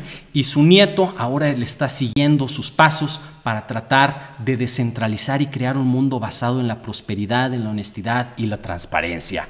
Aquí es el exdirector del Seasteading Institute, tiene su Sarco Investment Group y es, está, es uno de los eh, personajes más activos en la Startup Society Foundation, estudió también en la Universidad eh, de Stanford. Aquí tenemos em, otros empresarios, eh, Michael Gibson, que es del directivo del, del, fondo de inversión o de la casa de inversión 1517 tenemos ni nada más ni nada menos que a ya le había comentado, es uno de los más grandes, más importantes, más fuertes, es el ex CTO de Coinbase, el GP, el General Partner, que es el más fuerte de una de las consultorías más importantes, que se llama Andresen Horowitz. Eh, y, bueno, y tenemos también otros personajes importantes. Tenemos a Naval, tal cual, eh, otro de los inversores más fuertes del mundo, eh, uno de los fundadores de AngelList, es otro, es otro casa de inversión importante. Tenemos ni nada más ni menos que a Jonathan Swanson, que es uno de los cofundadores y ejecutivos de Tomback de Atenas. Eh, y varios otros profesores académicos de muy alto nivel. Tenemos a Dawkins Loss, usted lo, probablemente lo identifique, lo tenga bien ahí a la mano. Tenemos también al estoniano, eh, un cuate de los que tienen eh, como el gobierno innova mediante lo que se llama el esquema e-citizenship de e-Estonia. ¿Usted quiere vivir afuera? Muy fácil. ¿Quiere irse a vivir a Estonia? Ahorita le digo cómo. Tiene que crear una en dos semanas, en un mes, ahorita que estamos en septiembre, usted en octubre se puede ir a vivir a Estonia. ¿Por qué? Porque tiene el, gobierno de Estonia eh, tiene un modelo en el que le da una visa que solamente tarda dos semanas en aplicar para que todos los emprendedores, los startups, los matemáticos, los biólogos, la gente que le pone la, calidad, la fuerza, eh, se vaya a vivir a Estonia por un año. Es una visa para emprendedores eh, y para lo que se llaman nómadas digitales. Eh, Tavi Vodka, eh, bueno, vodka es la, que la, que yo me tomo. Qué bueno que esto no está grabado porque sería una vergüenza que me lo viera. Tom, Tom es uno de los principales académicos vive en Texas, tuvo su eh, GD en la Universidad de Chicago, que explica este tipo de cosas. Entonces no solamente son, bueno, pues qué bueno que tengan esta idea, pero ¿quién le pone el dinero? Y más allá, se lo cambio de la otra manera, qué bueno que usted tenga buena idea, pero ¿quién la está financiando? Si nadie le está financiando su idea, pues su idea no vale, no tiene tracción, no tiene posibilidad de crecer. Si alguien le está financiando este tipo de, de ideas, y no es una financia chiquita, son los estadounidenses, los europeos más fuertes en, el negocio de la reestructuración del gobierno, pues son eh, ellos mismos. Ahora déjame, le pongo Liberland. Un último ejemplo de estas comunidades, lo conoce, está basado en el, río Danubio, la República de Liberland. Eh, fue creada el 13 de abril del 2015, si no mal recuerdo. Eh, ya tiene su propia moneda, se llama Merit. ¿Dónde está? Merit es la criptomoneda. Eh, y bueno, este es otro de los ejemplos que existe. Muchas noticias, muchas ideas que tienen, eh, crean competencias de cómo renovarlas, cómo hacerlas más honestas, cómo tenerlas más abiertas. El mismo presidente, Vitjetlica, ¿Qué onda, David? ¿Cómo te va? Mucha muy buena onda, muchas gracias. Por último, le pongo eh, otra de las eh, startups que está creando la tecnología para crear este tipo de ideas. Es muy bueno y qué buena idea que, cómo es que las tecnologías y la inteligencia artificial, la inteligencia artificial hace mejor decisiones que los humanos, no actualmente, pero nos da eh, data suficiente para poder identificar el comportamiento positivo deseado de muchas personas y contra negativo o contraproducente de muchos otros. Entonces, eh, si no va a haber un estado de bienestar eh, obligado con la violencia bajo el socialismo o el fascismo, eh, se van a crear sociedades, o se están creando sociedades de apoyo mutuo, eh, en donde nos apoyaremos usted y, y yo la audiencia y Julio Alejandro, la audiencia y Julio Astillero, y evitaremos que la gente indeseable, ratera, abusiva, floja o simplemente que no tiene remedio en esta humanidad siga jodiendo al país y siga jodiendo a la República. ¿Y de qué manera? De manera que nosotros podamos integrar e identificar, bueno, es que hay problemas sociales, lo que se llaman externalidades y bienes públicos, pero también hay problemas eh, de pobreza extrema en, comunidades indígenas, en, la misma Ciudad de México, hay desempleo, hay lo que se llama homelessness, que no tienen un techo fijo, están los chavos que viven en las eh, alcantarillas, ¿de qué manera es que nosotros podemos ayudar a estos? Hay muchos ejemplos, esta no es eh, la plática, no quiero darle em, demasiado podría hablar de esto todos los días, pero eh, solamente entender que hay muchas de las formas en las que el gobierno y el apoyo mutuo ya nos va a ser dado por gente improductiva o, inútil o indeseable, sino simplemente por todos nosotros como comunidad, como humanidad, que va a lograr crear esto. Hay muchos de los libros, hay muchos board members, Max Borders, ¿qué onda? ¿Cómo te va? Eh, Brian, etcétera, etcétera. Vamos, em, en los, cuando tengamos un poquito más de tiempo, eh, Andrés le va a pedir si nos puede regresar a, la, a las slides para ya ir concluyendo este, esta plática, esta conferencia que dimos. Se me olvidó decirle, em, no sé si lo, comenté al principio, no sé si lo comenté al revés, vamos a regresar Andrés a la número 19, eh, por favor, eso es todo.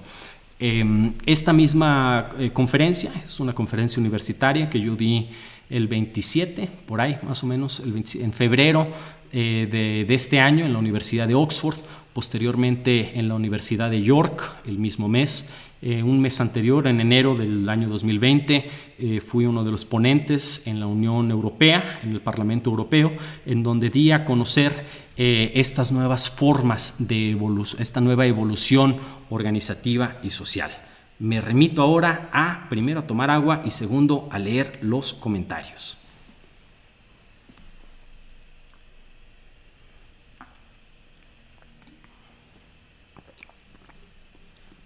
Cryptomex menciona, Liberland es para los liberales, pues que Socialand sean para los socialistas, e Iskerland sean para los izquierdistas, y Cominland sean para los comunistas, y Huertaland sean para los huertistas, y Alejandroland sean para la gente que está de acuerdo con Alejandro.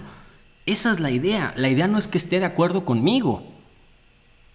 Estaríamos jodidos, sería una forma de dictadura de totalitarianismo. Imagínese que yo creara mis parámetros de tolerancia y de moral y no le dejara a usted que tuviese usted sus mismos. Me convertí en, un dictador. Entonces la idea no es que yo tenga mi comunidad, la idea es que usted tenga su propia comunidad, con sus características, con su moral, con su sistema económico, con su sistema legal. No yo. Y no, no una supraestado nacional que se llama China, que tiene 1.300 millones de personas esclavos en su territorio. No, no, no. Que cada persona, que cada individuo elija dentro del mercado de opciones y oportunidades y alternativas cuál es el que mejor le gusta. No yo, usted. Propuestas muy interesantes, pero tenemos que evaluar la factibilidad, dice Frida Beatriz. En ocasiones anteriores se me vino la aburridora, pero dije, lo que importa es la inversión, lo que importa es el equipo que tiene la ejecución. La idea no importa. Regla número uno en los negocios en las startups, las ideas no importan, nada, cero, nulo. Pero es que tengo una idea. ¿Y? ¿Y qué? Yo también tengo una idea. Y Juan tiene una idea, y Pedro tiene una idea, y Antonio tiene una idea, y María tiene una idea, y Ana tiene una idea, y Mariana tiene otra idea. Sus ideas tienen factibilidad. ¿De qué depende? Número uno, del equipo. ¿Tiene la gente, su propio equipo, son los emprendedores, los inversores, los trabajadores, los desarrolladores más capaces, más inteligentes, más honestos y que tienen los resultados de manera más eficiente? Segundo, eh, ¿cuál es el nivel de inversión que existe en su compañía? Si tiene un buen equipo, va a sacar buena inversión. Si tiene un mal equipo, no va a saber cómo sacar la inversión. Pero la inversión importa muchísimo, porque si no, todo este website se mantiene en un website. Todo este libro se mantiene en un libro. Todo este video sigue siendo un video. Pero cuando hay inversión y cuando hay un empresario, un capitalista, un banquero que le pone mil millones de dólares, ah, cabrón, pues ya se puede construir un aeropuerto, ya hay caminos, ya hay eh, hospitales, ya se crea la universidad, ya se crea la escuela, ya se crea un conjunto de apartamentos. Y cuando se crea el conjunto de apartamentos, se crea un incentivo para que la gente emigre a estas ciudades. Pero si no tiene inversión, pues sígale siendo como un periodista o como un académico o como un debatólogo que nomás se la pasa diciendo una y otra y otra y otra y otra y otra cosa y no tiene impacto sobre lo que hace. Póngase de emprendedor y vamos a hablar de esto.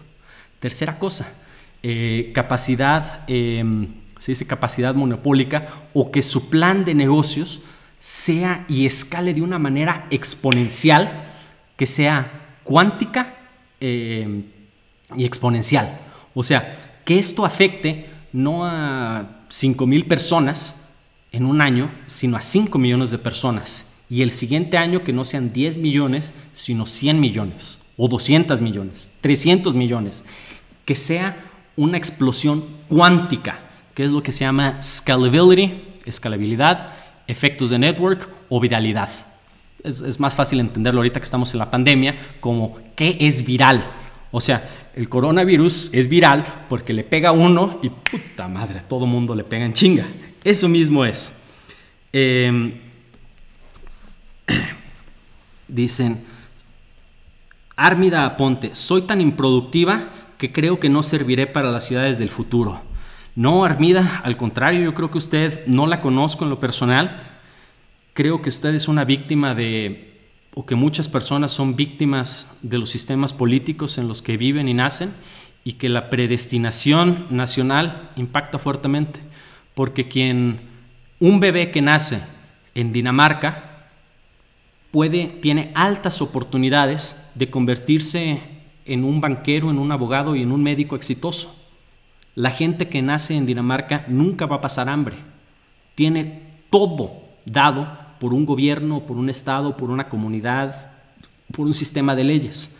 La gente que nace en Afganistán, en Galicia, Galicia, Ucrania, en África, en Kazajistán, en Venezuela, no se diga las mujeres que viven en Arabia Saudita, no se diga la gente que vive en Cuba con las opresiones comunistas, en Venezuela, en Nicaragua, nacieron en un estrato social y se van a morir en el mismo. El que nació rico va a mantenerse rico. El que nació pobre muy probablemente vaya a seguir igual de pobre. Yo creo que somos muchos o que tenemos eh, nuestros problemas son causales por el Estado. Por eso es que hay muchos inmigrantes o jóvenes eh, de Honduras o de México que se van a los Estados Unidos porque Estados Unidos les provee las oportunidades que México nunca les va a proveer. Y en una generación o la misma generación, el chavo que nació en Aguascalientes o el chavo que nació en Guanajuato y tenía cinco años iba a morir pobre en México, pero se fue a los Estados Unidos y mejoró su vida mejoró su vida igualmente en, si, viaja a un estado que tenga un estado de bienestar fuerte en Europa, en Europa del norte, nórdica, eh, germánica o británica, pero tiene mayor oportunidades. Al contrario, yo creo que em, tienen muchas, eh, hay un mercado del cual trabajo yo, hago trabajo fuertemente en todo, lo que es el apoyar a la base de la pirámide eh, para que existan oportunidades de la gente oprimida y con menos oportunidades. Estas se llaman Coding Academies, Le Wagon, eh, General Assembly, eh, Market y en México se llama Hola Code, Hola Code, tal cual. Hay muchos de estos ejemplos, lo pudiera, vamos a platicarlos en otra ocasión, pero muchas gracias. Héctor Huerta dice, Arabia Saudita no es como la pintas, yo trabajé allá. Yo creo que es peor de lo que se pinta. Es un estado genocida, torturador, pero esa es otra conversación. Luego hablamos de Israel y del el Medio Oriente con mucho eh, entusiasmo. Andrés, si le podemos pasar a la siguiente, nos, quedamos 15 segunditos o 30 segunditos y le damos también a la que sigue. Eh, vamos a tratar de, darle más rápido, de darle más eh, fuertemente. Estos son más de los ejemplos que existen, Defense Distributed, el Seasteading Institute, Monero, Alcor, eh, Ulex, Pandora, eh, Parallel Nipolis, que utilizan tecnologías avanzadas y disruptivas eh, para impactar a la gente pobre y a la gente que tiene menos oportunidades. Nomás recalco dos de ellos. Uno usted verá en, la pantalla que dice Alcor en color blanco. El, Alcor Center permite el crionismo en donde establece que actualmente vamos a vivir hasta los 100 años, una persona como yo, eh, un bebé que nazca eh, actualmente va a vivir hasta los 120, 140 años y probablemente cuando estemos en el 2100 eh, los bebés pues realmente puedan vivir hasta los 400, 600, 800 años. O sea, la muerte será opcional, alcanzaremos formas de inmortalidad fuertes y esta es una de las organizaciones Alcor que trabaja eh, con el crionismo, que es una subdivisión del transhumanismo, que a su, vez es una parte de la división académica que llamamos biomedicina o biotecnología.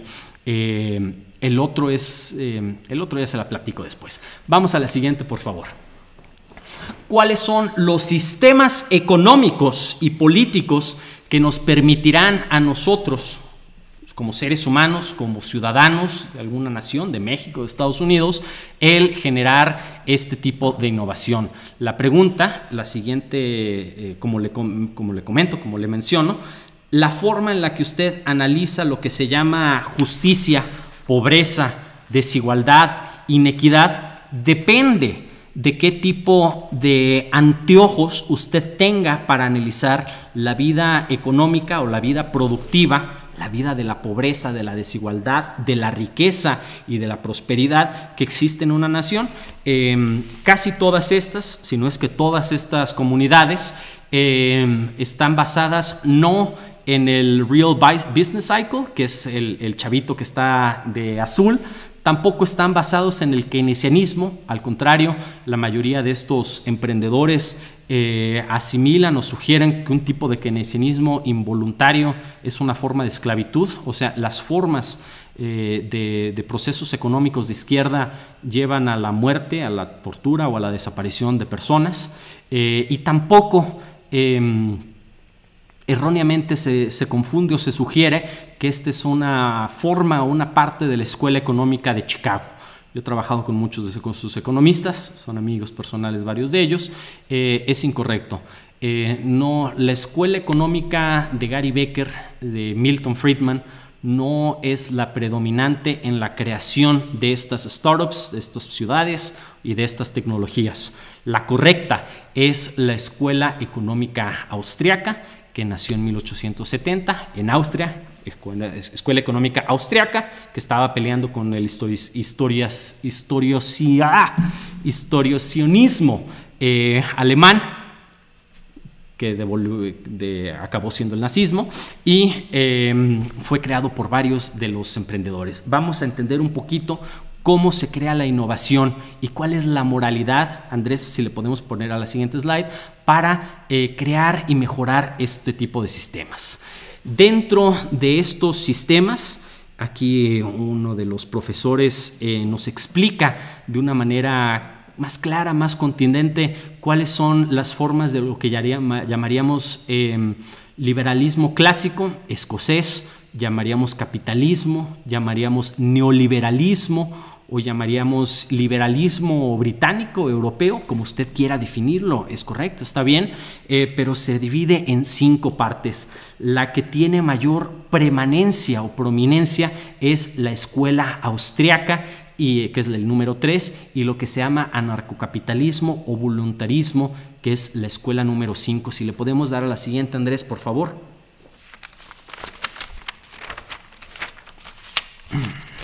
Muy bien. Eh, si me puedes cambiar de la otra parte, Andrés, por favor, también.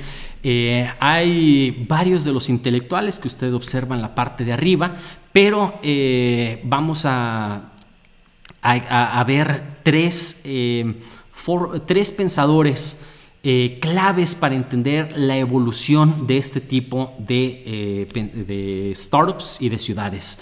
El más prominente y el más famoso, usted reconocerá en la parte inferior a la izquierda, creo que es, es Friedrich Hayek y es importante porque él creó la idea de la descentralización. Cuando hablamos en tecnología, en, networks y en protocolos, de que algo es descentralizado, lo que nos referimos en el mundo offline es que está distribuido, primero, y segundo, eh, no pertenece, no puede ser atacado por, un, por una organización central. Entonces, en el Mesh Network, en la múltiple oportunidad de este con este, con este, con este, con este, con este, si usted ataca a este, le sale como hiedra o como medusa otras 50 cabezas. Cuando se, ataca, cuando se intentó atacar eh, Ethereum, se generaron múltiples formas de Ethereum. Cuando se atacó Bitcoin o cuando Bitcoin no entendió cuál era su futuro, se creó el Gold, el Diamond, el el cash, etc.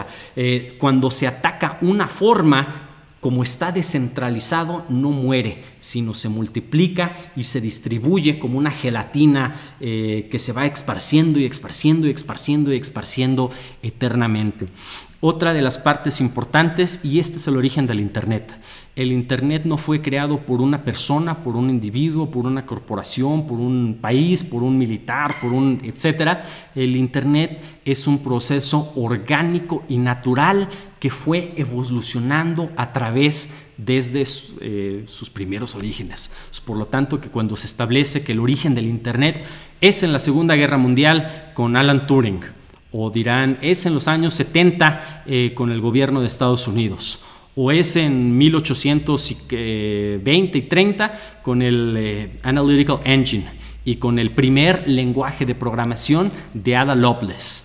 No, no hay, sí, hay un padre, se, le llama el padre de la computadora, el padre de la computación, el padre de la, la madre, en este caso Ada Lovelace, del primer lenguaje de programación, pero todo esto nos ayuda a entender que la evolución de una tecnología, de una ciudad, de un grupo de ideas, no está concentrado en un grupo de personas, no está centralizado en una economía, en un sistema de precios, en un sistema de organización de plan desarrollo, de, plan nacional, de plan colectivo, de plan etcétera, que venga desde arriba hacia abajo como funciona la burocracia actual.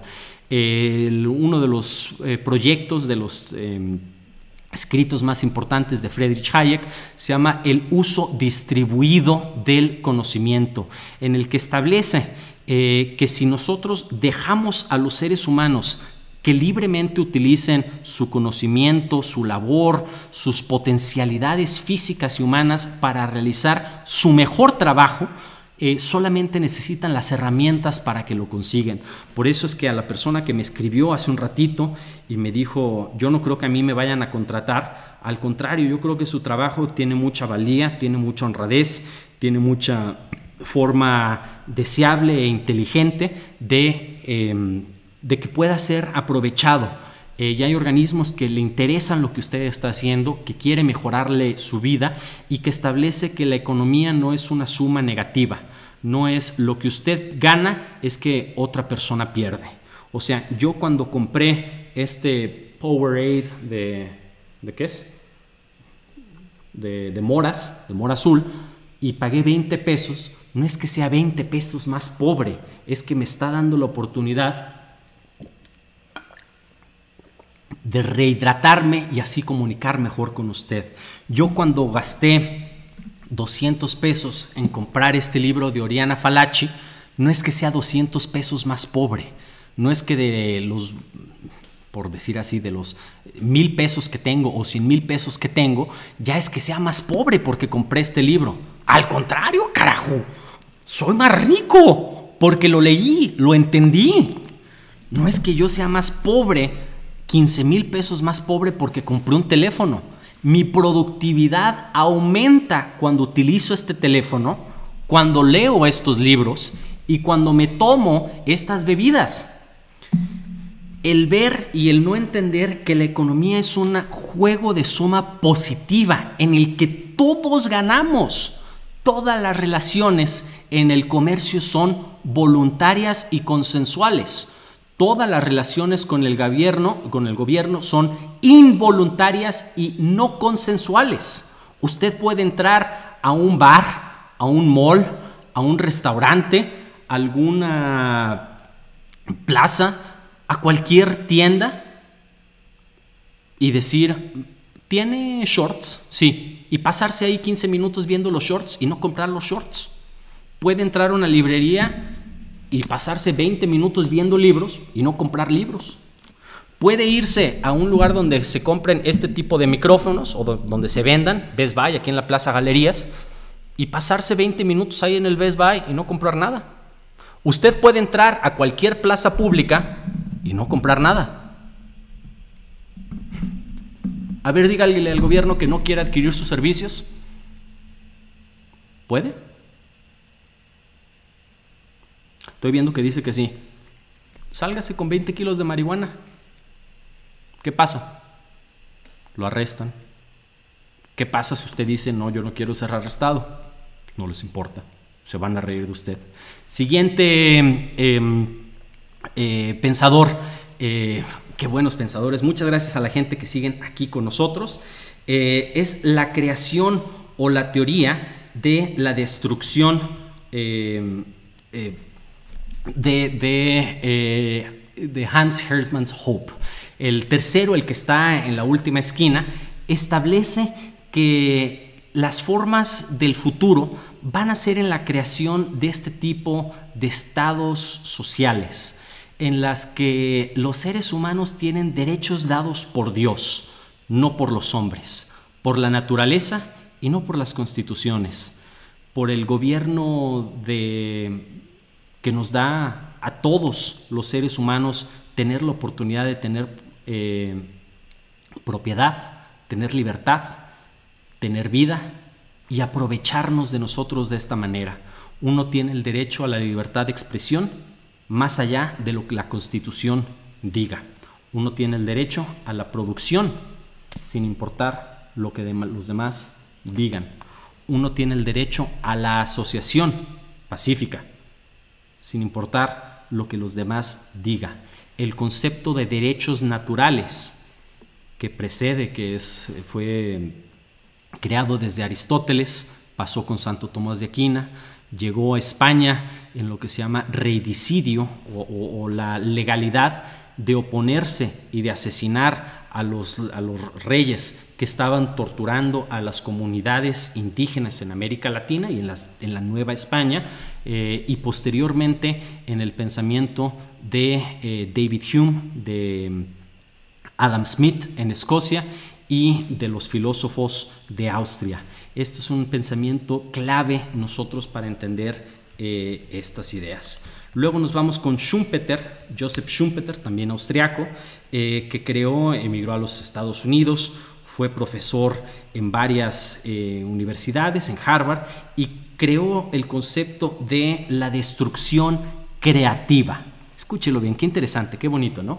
La, la destrucción creativa es lo que permite la innovación de nuevos modelos en la economía y en la civilización, en la sociedad.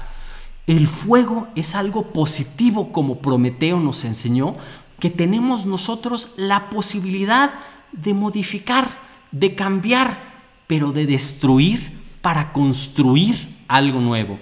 Es el proceso de deconstrucción, construyendo la deconstrucción y en su proceso, en estas ideas de qué es lo que genera la innovación, la innovación es cuando se destruye para reconstruir. Y esto es lo que las startups generan y crean actualmente. Eh, los procesos de cualquier startup técnica de tecnología avanzada, de blockchain, de computación cuántica, de inteligencia artificial, de machine learning, de data science, de lo que usted ponga, de telemarketing, etcétera, eh, básicamente yo lo divido en seis partes. Primero se tiene, y le voy a ejemplificar cómo es necesario eh, destruir una destrucción creativa para crear y generar lo que es mejor y a que la gente le gusta, lo que al pueblo le gusta, lo que al cliente le gusta, lo que a usted le gusta y si no le gusta, compre otra cosa, pero identificar cuál es la audiencia y qué es lo mejor que lo podemos proveer. La destrucción creativa en todas las startups inicia en el proceso, son seis procesos. Proceso uno, crear una idea. Pero ¿cómo sabemos si esta idea es lo que usted quiere? Necesitamos validar la idea en lo que es un proceso de exponérsela al público, preguntarle a usted, a nuestra audiencia, ver y entender qué es lo que San, Frida Beatriz, Guillermo Gómez, Vale Lander eh, establece y así identificar si es que nosotros podemos crear esto. Segundo, crear lo que se llama una proof of concept, un concepto de prueba que involucra una demostración pequeñita para los inversores o para mí, para mi papá, decirle, oye, pa, tengo una idea bien chingona. Y mi papá dice, no, no mames, vete, a fregar a otro lado. No, déjame, mira, déjame, te explico que ya publiqué en Twitter y tengo una idea de crear un programa bien chingón. Órale, a ver, pues, mira, aquí está déjame te escribo en un documento, que es el Proof of Concept, con una demostración, que yo te voy a explicar aquí qué es lo que es, para que tú me digas que sí. Órale pues. Bueno, pa, tercera parte, una, dos, tres. Crear lo que se llama un MVP, Minimum Viable Product, que es lo mínimo que nosotros tenemos que hacer aquí en las redes sociales, aquí en este video que estamos comentando, para que mi papá acepte que yo siga transmitiendo aquí con ciertas métricas, que tengan cierto nivel de audiencia, que tengan ciertos niveles de likes, que los comentarios sean positivos o negativos en esta idea y que nosotros podamos posicionar el canal en otras cosas. Luego lo lanzamos en un mercado chiquito que se llama eh, alfa luego en un mercado más grande que se llama beta y luego ya estamos listos para lanzarlos al público de manera escalada, que es el utilizar todos los esfuerzos del equipo de Julio Alejandro para comercializar, para escalar, para crecer con este programa y con esta audiencia para que no llegue a las mil personas que nos vean ahorita, sino a cinco mil, a veinte mil, a treinta mil, etcétera. Y nosotros cuando estamos creando estos programas, yo destruyo creativamente cada parte de mis ideas y veo, ¿les gusta más eh, la parte académica? No. ¿Le gusta más la parte científica? No. ¿Les gusta más que eche chistes? Sí. ¿Les gusta que canten? Sí. ¡Ay, ay, ay, ay! No. Eh, ¿Les gustan este tipo de expresiones? Sí. Estoy destruyéndome cada vez que presento este programa para identificar qué es lo que mejor le gusta y que más pueda ayudar a usted para que todos crezcamos juntos. Se llama emprendedurismo, dice Héctor Huerta. Correcto. Eh, es la teoría de un filósofo austriaco que se llama Joseph Schumpeter, de la Escuela Económica Austriaca de 1870 hasta como 1970, en donde ya nació su versión nueva, que es el anarcocapitalismo. Vamos a la, siguiente slide, por favor, Andrés. Eh, estas personas establecen, como les he eh, dicho, que el gobierno actual es una organización eh, criminal. No es una opinión per se mía, eh, es la visión de mucha gente que trabaja en el voluntarismo o en la economía austriaca, en el que vivimos en un estado de apartheid, en donde las visas son un mecanismo de esclavitud. Si usted cree que esto es una exageración, Pregúntele a los Dreamers que viven en Estados Unidos, los jóvenes mexicanos que fueron llevados de jóvenes, de niños, a los Estados Unidos cuando tenían 5, 10 o 15 años y hoy los están tratando de deportar a México como si fueran esclavos. Literal. Em, se piensa que taxation is theft, que toda la forma de, de, los impuestos, los impuestos son impuestos, no son voluntarios, de ahí el nombre, la etimología, pero es una forma de robo es una forma de robo porque no es eh, caridad y no es una donación. Estás obligado tú a pagar por programas sociales que en muchas ocasiones estás en oposición. En Estados Unidos, individualmente, yo estoy en tremenda oposición por la militarización, por el incremento del Estado en las guerras, en, los golpes de Estado, en la DEA, en la CIA, en el FBI que tienen eh, el Departamento de Defensa de Estados Unidos y yo preferiría no pagar, si fuese estadounidense y yo viviera en Estados Unidos, no pagar para la militarización de los Estados Unidos, pero no tengo oportunidad. Los impuestos son genéricos y usted no tiene la posibilidad de decir quiero que esto sí se haga y quiero que esto no se haga. La democracia es un sistema satánico eh, porque ellos consideran que la sociedad está embobada pensando que usted dice, no, un minuto, yo puedo votar, sí, pero su voto no vale nada. O dicho de otra manera, su voto tiene que tener una competencia no contra 20 personas. Imagínese que quiere ordenar una pizza o que quiere ver qué es lo que va a hacer en su casa. En, dentro de su misma casa, donde viven cinco personas, su voto eh, vale, tiene una, un aspecto pequeño. Si es con toda su familia, que son 20 o 50, es más complicado. Es un voto de un millón de personas que usted no tiene posibilidad numérica de alterar un sistema y también solamente tiene dos opciones o tres opciones o cuatro opciones. Aquí cuatro opciones en México, dos opciones en Estados Unidos como unas cuatro opciones también en Europa. ¿Cuántas opciones tiene usted cuando va a un bar? Cuando usted va a un restaurante, cuando va a VIPS, hay de tener unas 300 opciones entre bebidas y alimentos. Cuando usted va a la boleta, es la ley de Herodes. Se dice o dicen muchos libertarios que la diferencia entre Venezuela y Estados Unidos es que en uno vas a votar y en el otro no.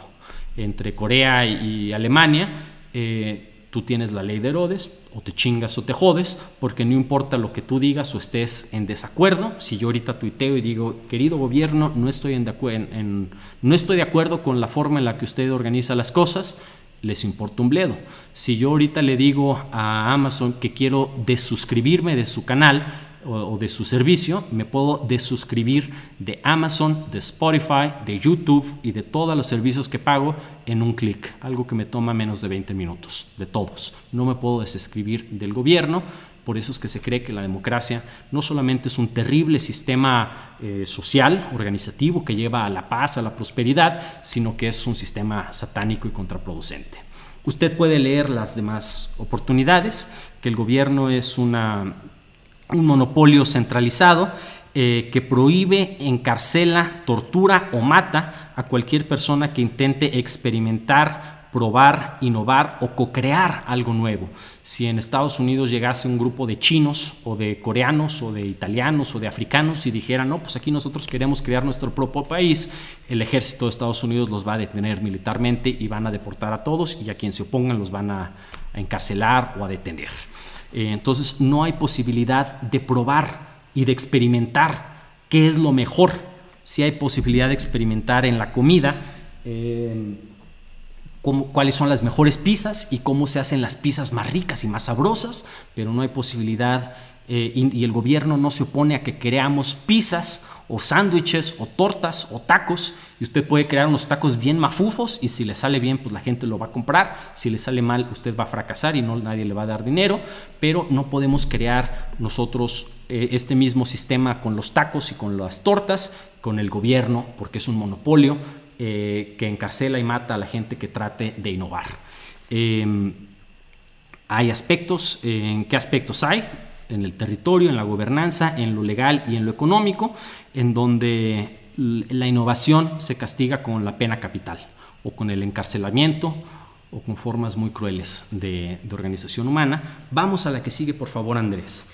Estas son em, opiniones no, em, no personales, pero quiero explicar quiénes piensan en este tipo de ideas el más reconocido es el teórico y premio Nobel de Economía, el del año 2018, Paul Romer, profesor universitario, que es uno de los eh, propulsores más importantes de lo que se llama eh, Charter Cities. O sea, si el ¿por qué no crear eh, ciudades privadas como las que les comenté, como todos los ejemplos que les he dado, para que sea las personas puedan identificar y alguien de Honduras o alguien de Siria o de Nicaragua identifique y diga, yo creo que me va a llevar esto a un mayor nivel de vida, calidad de vida, expectativa de vida, menor mortalidad infantil, mayor longevidad, menor pobreza, menor desigualdad o clases sociales, etcétera, etcétera. Paul Romer es uno de los principales.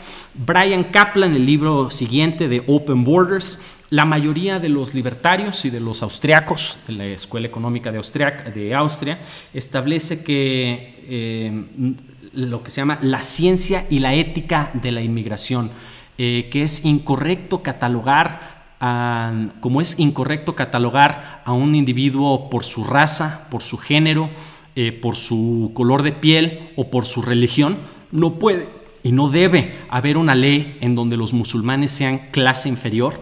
No, es, no debe. No debemos crear una, una ley en donde la gente morena o la gente negra sea inferior. No debemos crear una ley en donde las comunidades indígenas, mayas, aztecas sean inferiores a los mestizos o a los españoles.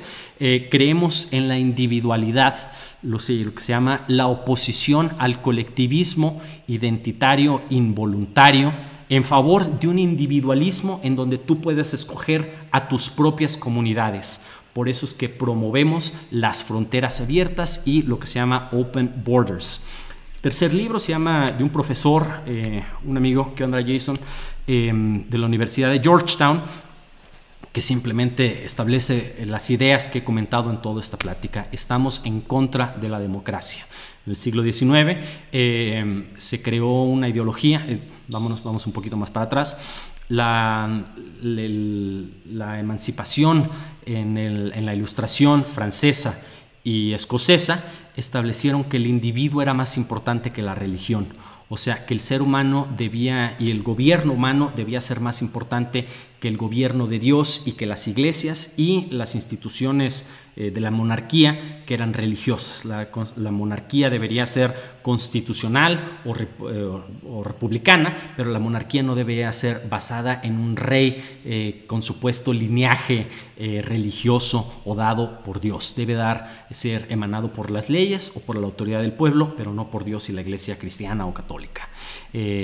pero en el, eh, un siglo después, después del siglo XVIII, en el siglo XIX eh, se creó la, eh, nació una nueva ideología en 1848 con el manifiesto comunista, 1867, si no mal recuerdo, que se escribió El Capital por Karl Marx. Entonces el liberalismo, que es una ideología de limitar al gobierno, tuvo que aliarse a la democracia por eso es que hoy decimos democracias liberales, porque se aliaron dos cosas que eran distintas en favor del enemigo común, del enemigo común que era el socialismo o el marxismo de Karl Marx y de Engels. Em, el liberalismo o el libertarianismo, los austriacos actualmente, tratan ahora de diferenciarse y de tener, de decir, el socialismo eh, no, no, es la forma ideal, pero tampoco la democracia. El liberalismo antiguo de Carlos eh, de, Smith y de Hume eh, establece que deben la democracia no debe atacar los derechos naturales, los que les comenté con Hans Hersmann Hope. O sea, democráticamente no podemos violar a alguien Democráticamente no podemos torturar a alguien. Democráticamente no podemos esclavizar a un millón de, personas solamente porque utilizan drogas, como es el caso de los afroamericanos, un millón de afroamericanos en cárcel no por, no por crímenes violentos, sino por posesión o consumo de drogas. Entonces, dicho de otra manera, no porque usted considere que otras personas no deben consumir drogas y ustedes sean la mayoría y democráticamente vayan a elecciones con votos y el 95% esté en contra del de, eh, uso de heroína, significa que usted, democracia, tiene el poder de limitarme a mí como individuo del uso legítimo dado por Dios de utilizar mi vida y mi cuerpo en las mejores maneras que yo considere que son mejores para mí. Es por eso que se está en contra de la democracia. Se cree que el socialismo lleva a la esclavitud, eh, serfdom, como dijo Friedrich Hayek. El quinto libro, el eh, Julian Assange, la ideología de blockchain va por los cypherpunks, pero al final del día eh, los cypherpunks son los creadores de blockchain.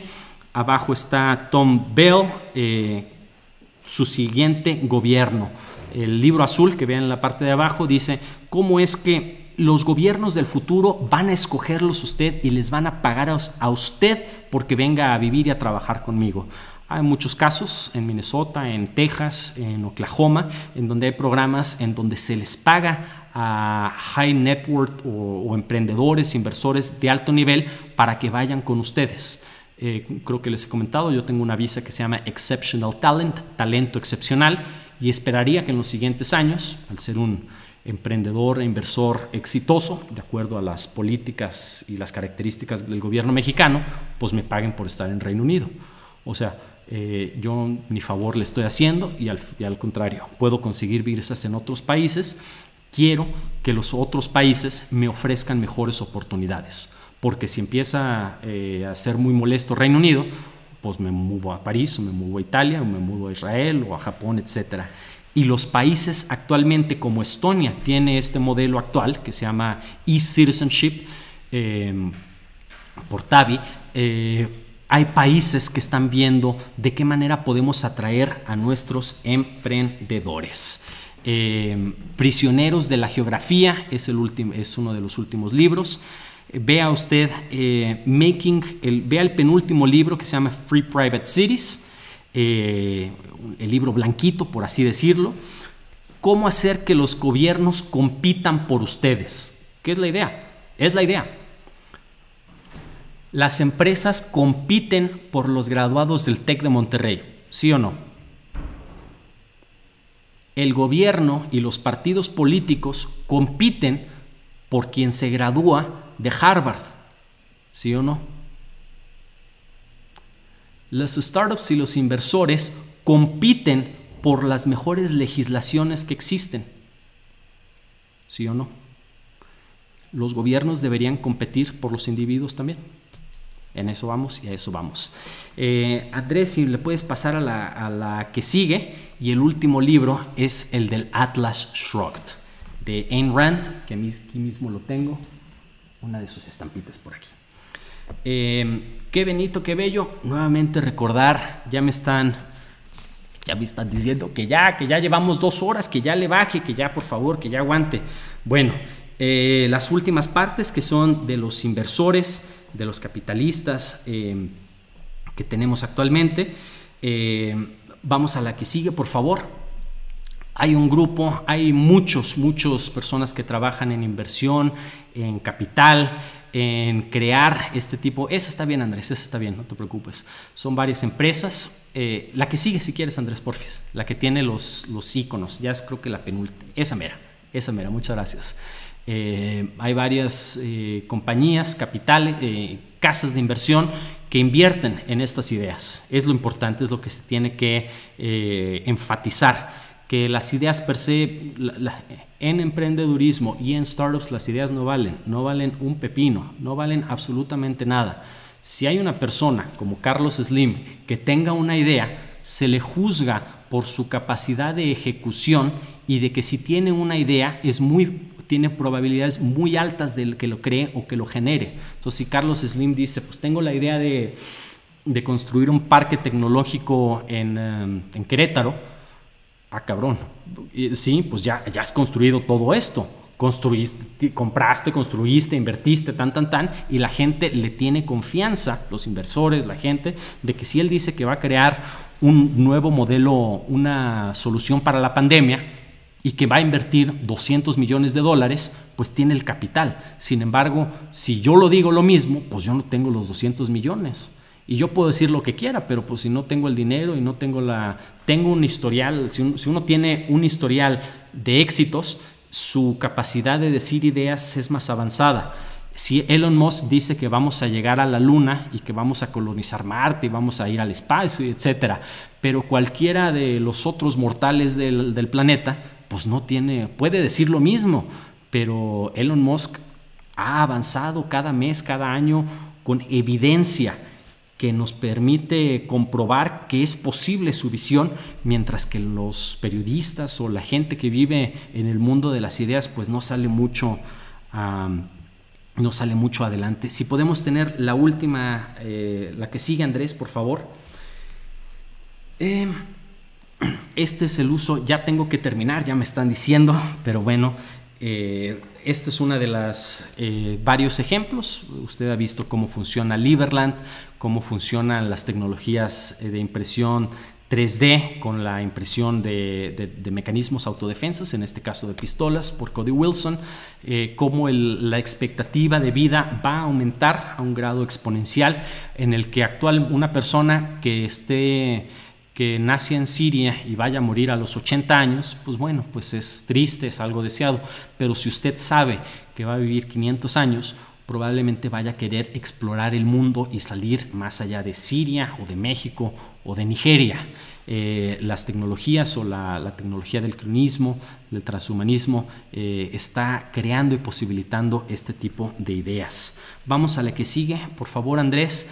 Eh, ya las últimas conclusiones. Recordar que blockchain no es una tecnología, no es una forma de inversión, no es una economía, una moneda, eh, una base de datos distribuida. Eh, blockchain es una ideología de personas que piensan que se debe desmonopolizar, desnacionalizar, desterritorializar el mundo para crear múltiples actores que crean nuevas economías, nuevos sistemas legales y nuevos sistemas de organización humana, eh, más allá de lo que es permitido por las agencias de la violencia o del gobierno, y por lo tanto establecen que blockchain es una ideología que creó una comunidad, cuya comunidad creó muchas tecnologías. La tecnología más conocida es Bitcoin, pero lo que importa es entender blockchain como ideología, no como Bitcoin o no como criptomonedas o como DAOs o como etcétera. Eh, la siguiente, por favor, Andrés. Esta ya es mi penúltima slide. muchas gracias a la gente que se quedó con nosotros, que sigue viendo eh, todas estas ideas. Vale Lander, Fernando FP, Charles Clagande, Frida Beatriz, Emilia Ro, Marco Domínguez. Muchas gracias. Me, realmente me lleva mi corazón llena de alegría que ustedes vean esto. Eh, con esto terminamos esta charla. Él es Ross Ulrich, que está cumpliendo, es el mártir de la tecnología, como Hussein fue el mártir del chiismo, como Jesucristo fue el mártir del cristianismo. Ross Ulrich eh, sacrificó su vida por eh, la eliminación de la violencia o la eliminación del estatismo. Eh, y quiero traducirle esta última frase. Ross Ulrich está cubriendo dos cadenas perpetuas de prisión, más 40 años, por, tratar de crear un mercado descentralizado, que no fue descentralizado porque centralizadamente lo agarraron, en donde todas las relaciones económicas fuesen consensuales y voluntarias, utilizando la tecnología descentralizada que se llama Bitcoin. Una forma de Amazon, una forma de eBay, pero que vendiera todo lo que sea moralmente aceptable. No puedes contratar asesinos, no puedes vender tarjetas de crédito ilegales, no puedes eh, contratar una persona para que vaya a atacar o crear un genocidio, no desme libre, cosas así feas. Pero dijo, utilizando la visión de la escuela económica austriaca, él es austriaco, capitalista, neoliberal, dijo, quiero usar la teoría económica como un medio para abolir el uso de la, de la coerción y de la agresión entre los seres humanos.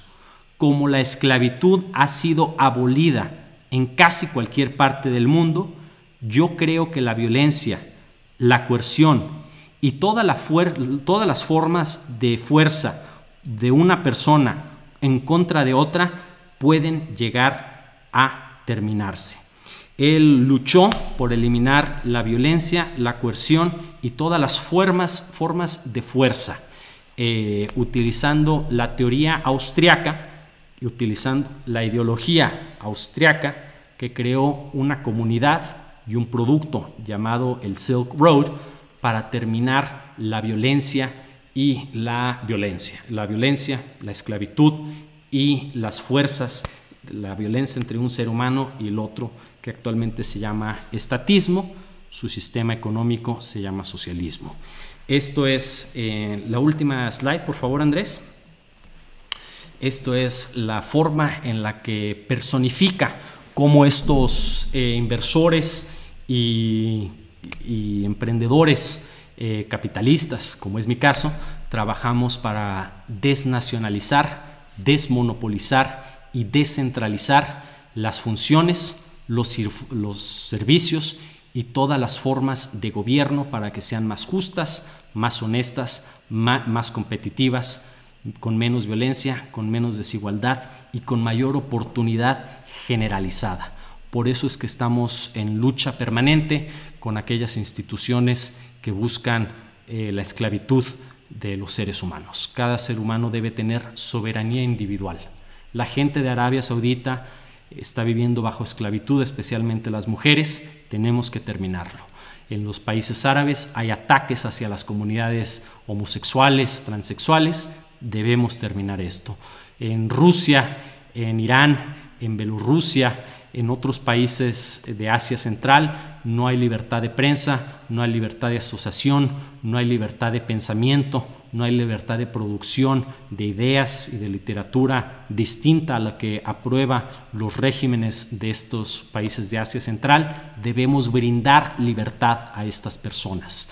En Estados Unidos hay un millón de afroamericanos esclavizados que viven en lo que usted llamaría campo de concentración, si me cree a mí y se le cree al gobierno de Estados Unidos, diría que son facilidades o cárceles, centros penitenciarios, en donde personas que nunca cometieron un crimen violento más allá que la comercialización o el consumo de estupefacientes están esclavizados. Eh, a los 20 años tienen cadenas de 60 años. Hasta los 80 años van a poder salir, probablemente nunca. Estas son formas de esclavitud en Corea del Norte, las personas no pueden escapar a su régimen. En Venezuela existe la emigración de un millón de personas, de venezolanos hacia Colombia, por las terribles formas de, economía violenta que ha tenido el expresidente Hugo Chávez. En Cuba hay personas que se tienen que salir en pateras por las torpezas, las, las tonterías y los abusos del régimen comunista que existió. En Ucrania hubo un genocidio creado por la planificación centralizada de la ex Unión Soviética llamada Holodomor en 1932-33, que mató a 10 millones de personas en donde morían de hambre familias enteras, comunidades enteras en masa.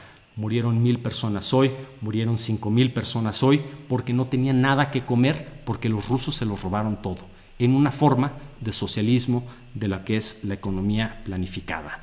Hay muchas formas de desigualdad, de violencia en el mundo, todas creadas por la institución y por la ideología del estatismo, en donde sus relaciones con el gobierno no son consensuales y sus relaciones con el gobierno no son voluntarias. Es la ley de Herodes, o te chingas o te jodes, no tienes oportunidad nula de cambiar las cosas en el mundo de las ideas tienes que participar en el mundo de la producción, del emprendedurismo y de la inversión. Muchas gracias a todas las personas que estuvieron con nosotros. Casi son las 11 con 25 de la noche. Gracias a Fernando FP, gracias a Víctor Huerta, eh, las personas que nos han mandado una cooperación. Eh, muchas gracias, gracias por su like, gracias por darnos un pulgarcito aquí. a Sergio Trujeque, muchas gracias. Acuérdense de, de tenernos aquí. Si me puedes ya regresar a la pantalla natural, Andrés, por favor. Nada más para despedirnos y decirnos eh, adiós a todos nosotros. Muchas gracias también a Laura que nos manda aquí una cooperación. Ya me despeiné, ya estoy en todos lados. Em, dice Elio Bracho, dice, no es verdad que hay un millón de venezolanos en Colombia. Hay 6 millones de colombianos en Venezuela. Mira, pues es interesante, qué bueno.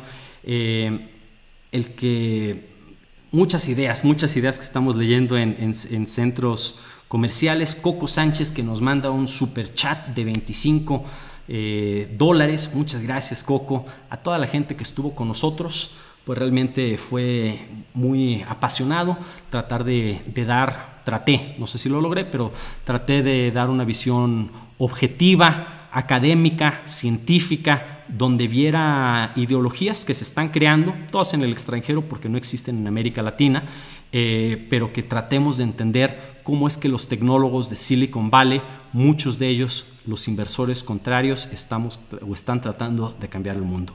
Muchas gracias a toda la gente que estuvo con nosotros. Ya llegamos a las 11.26 de la noche. Que tengan muy buena noche. Muchas gracias.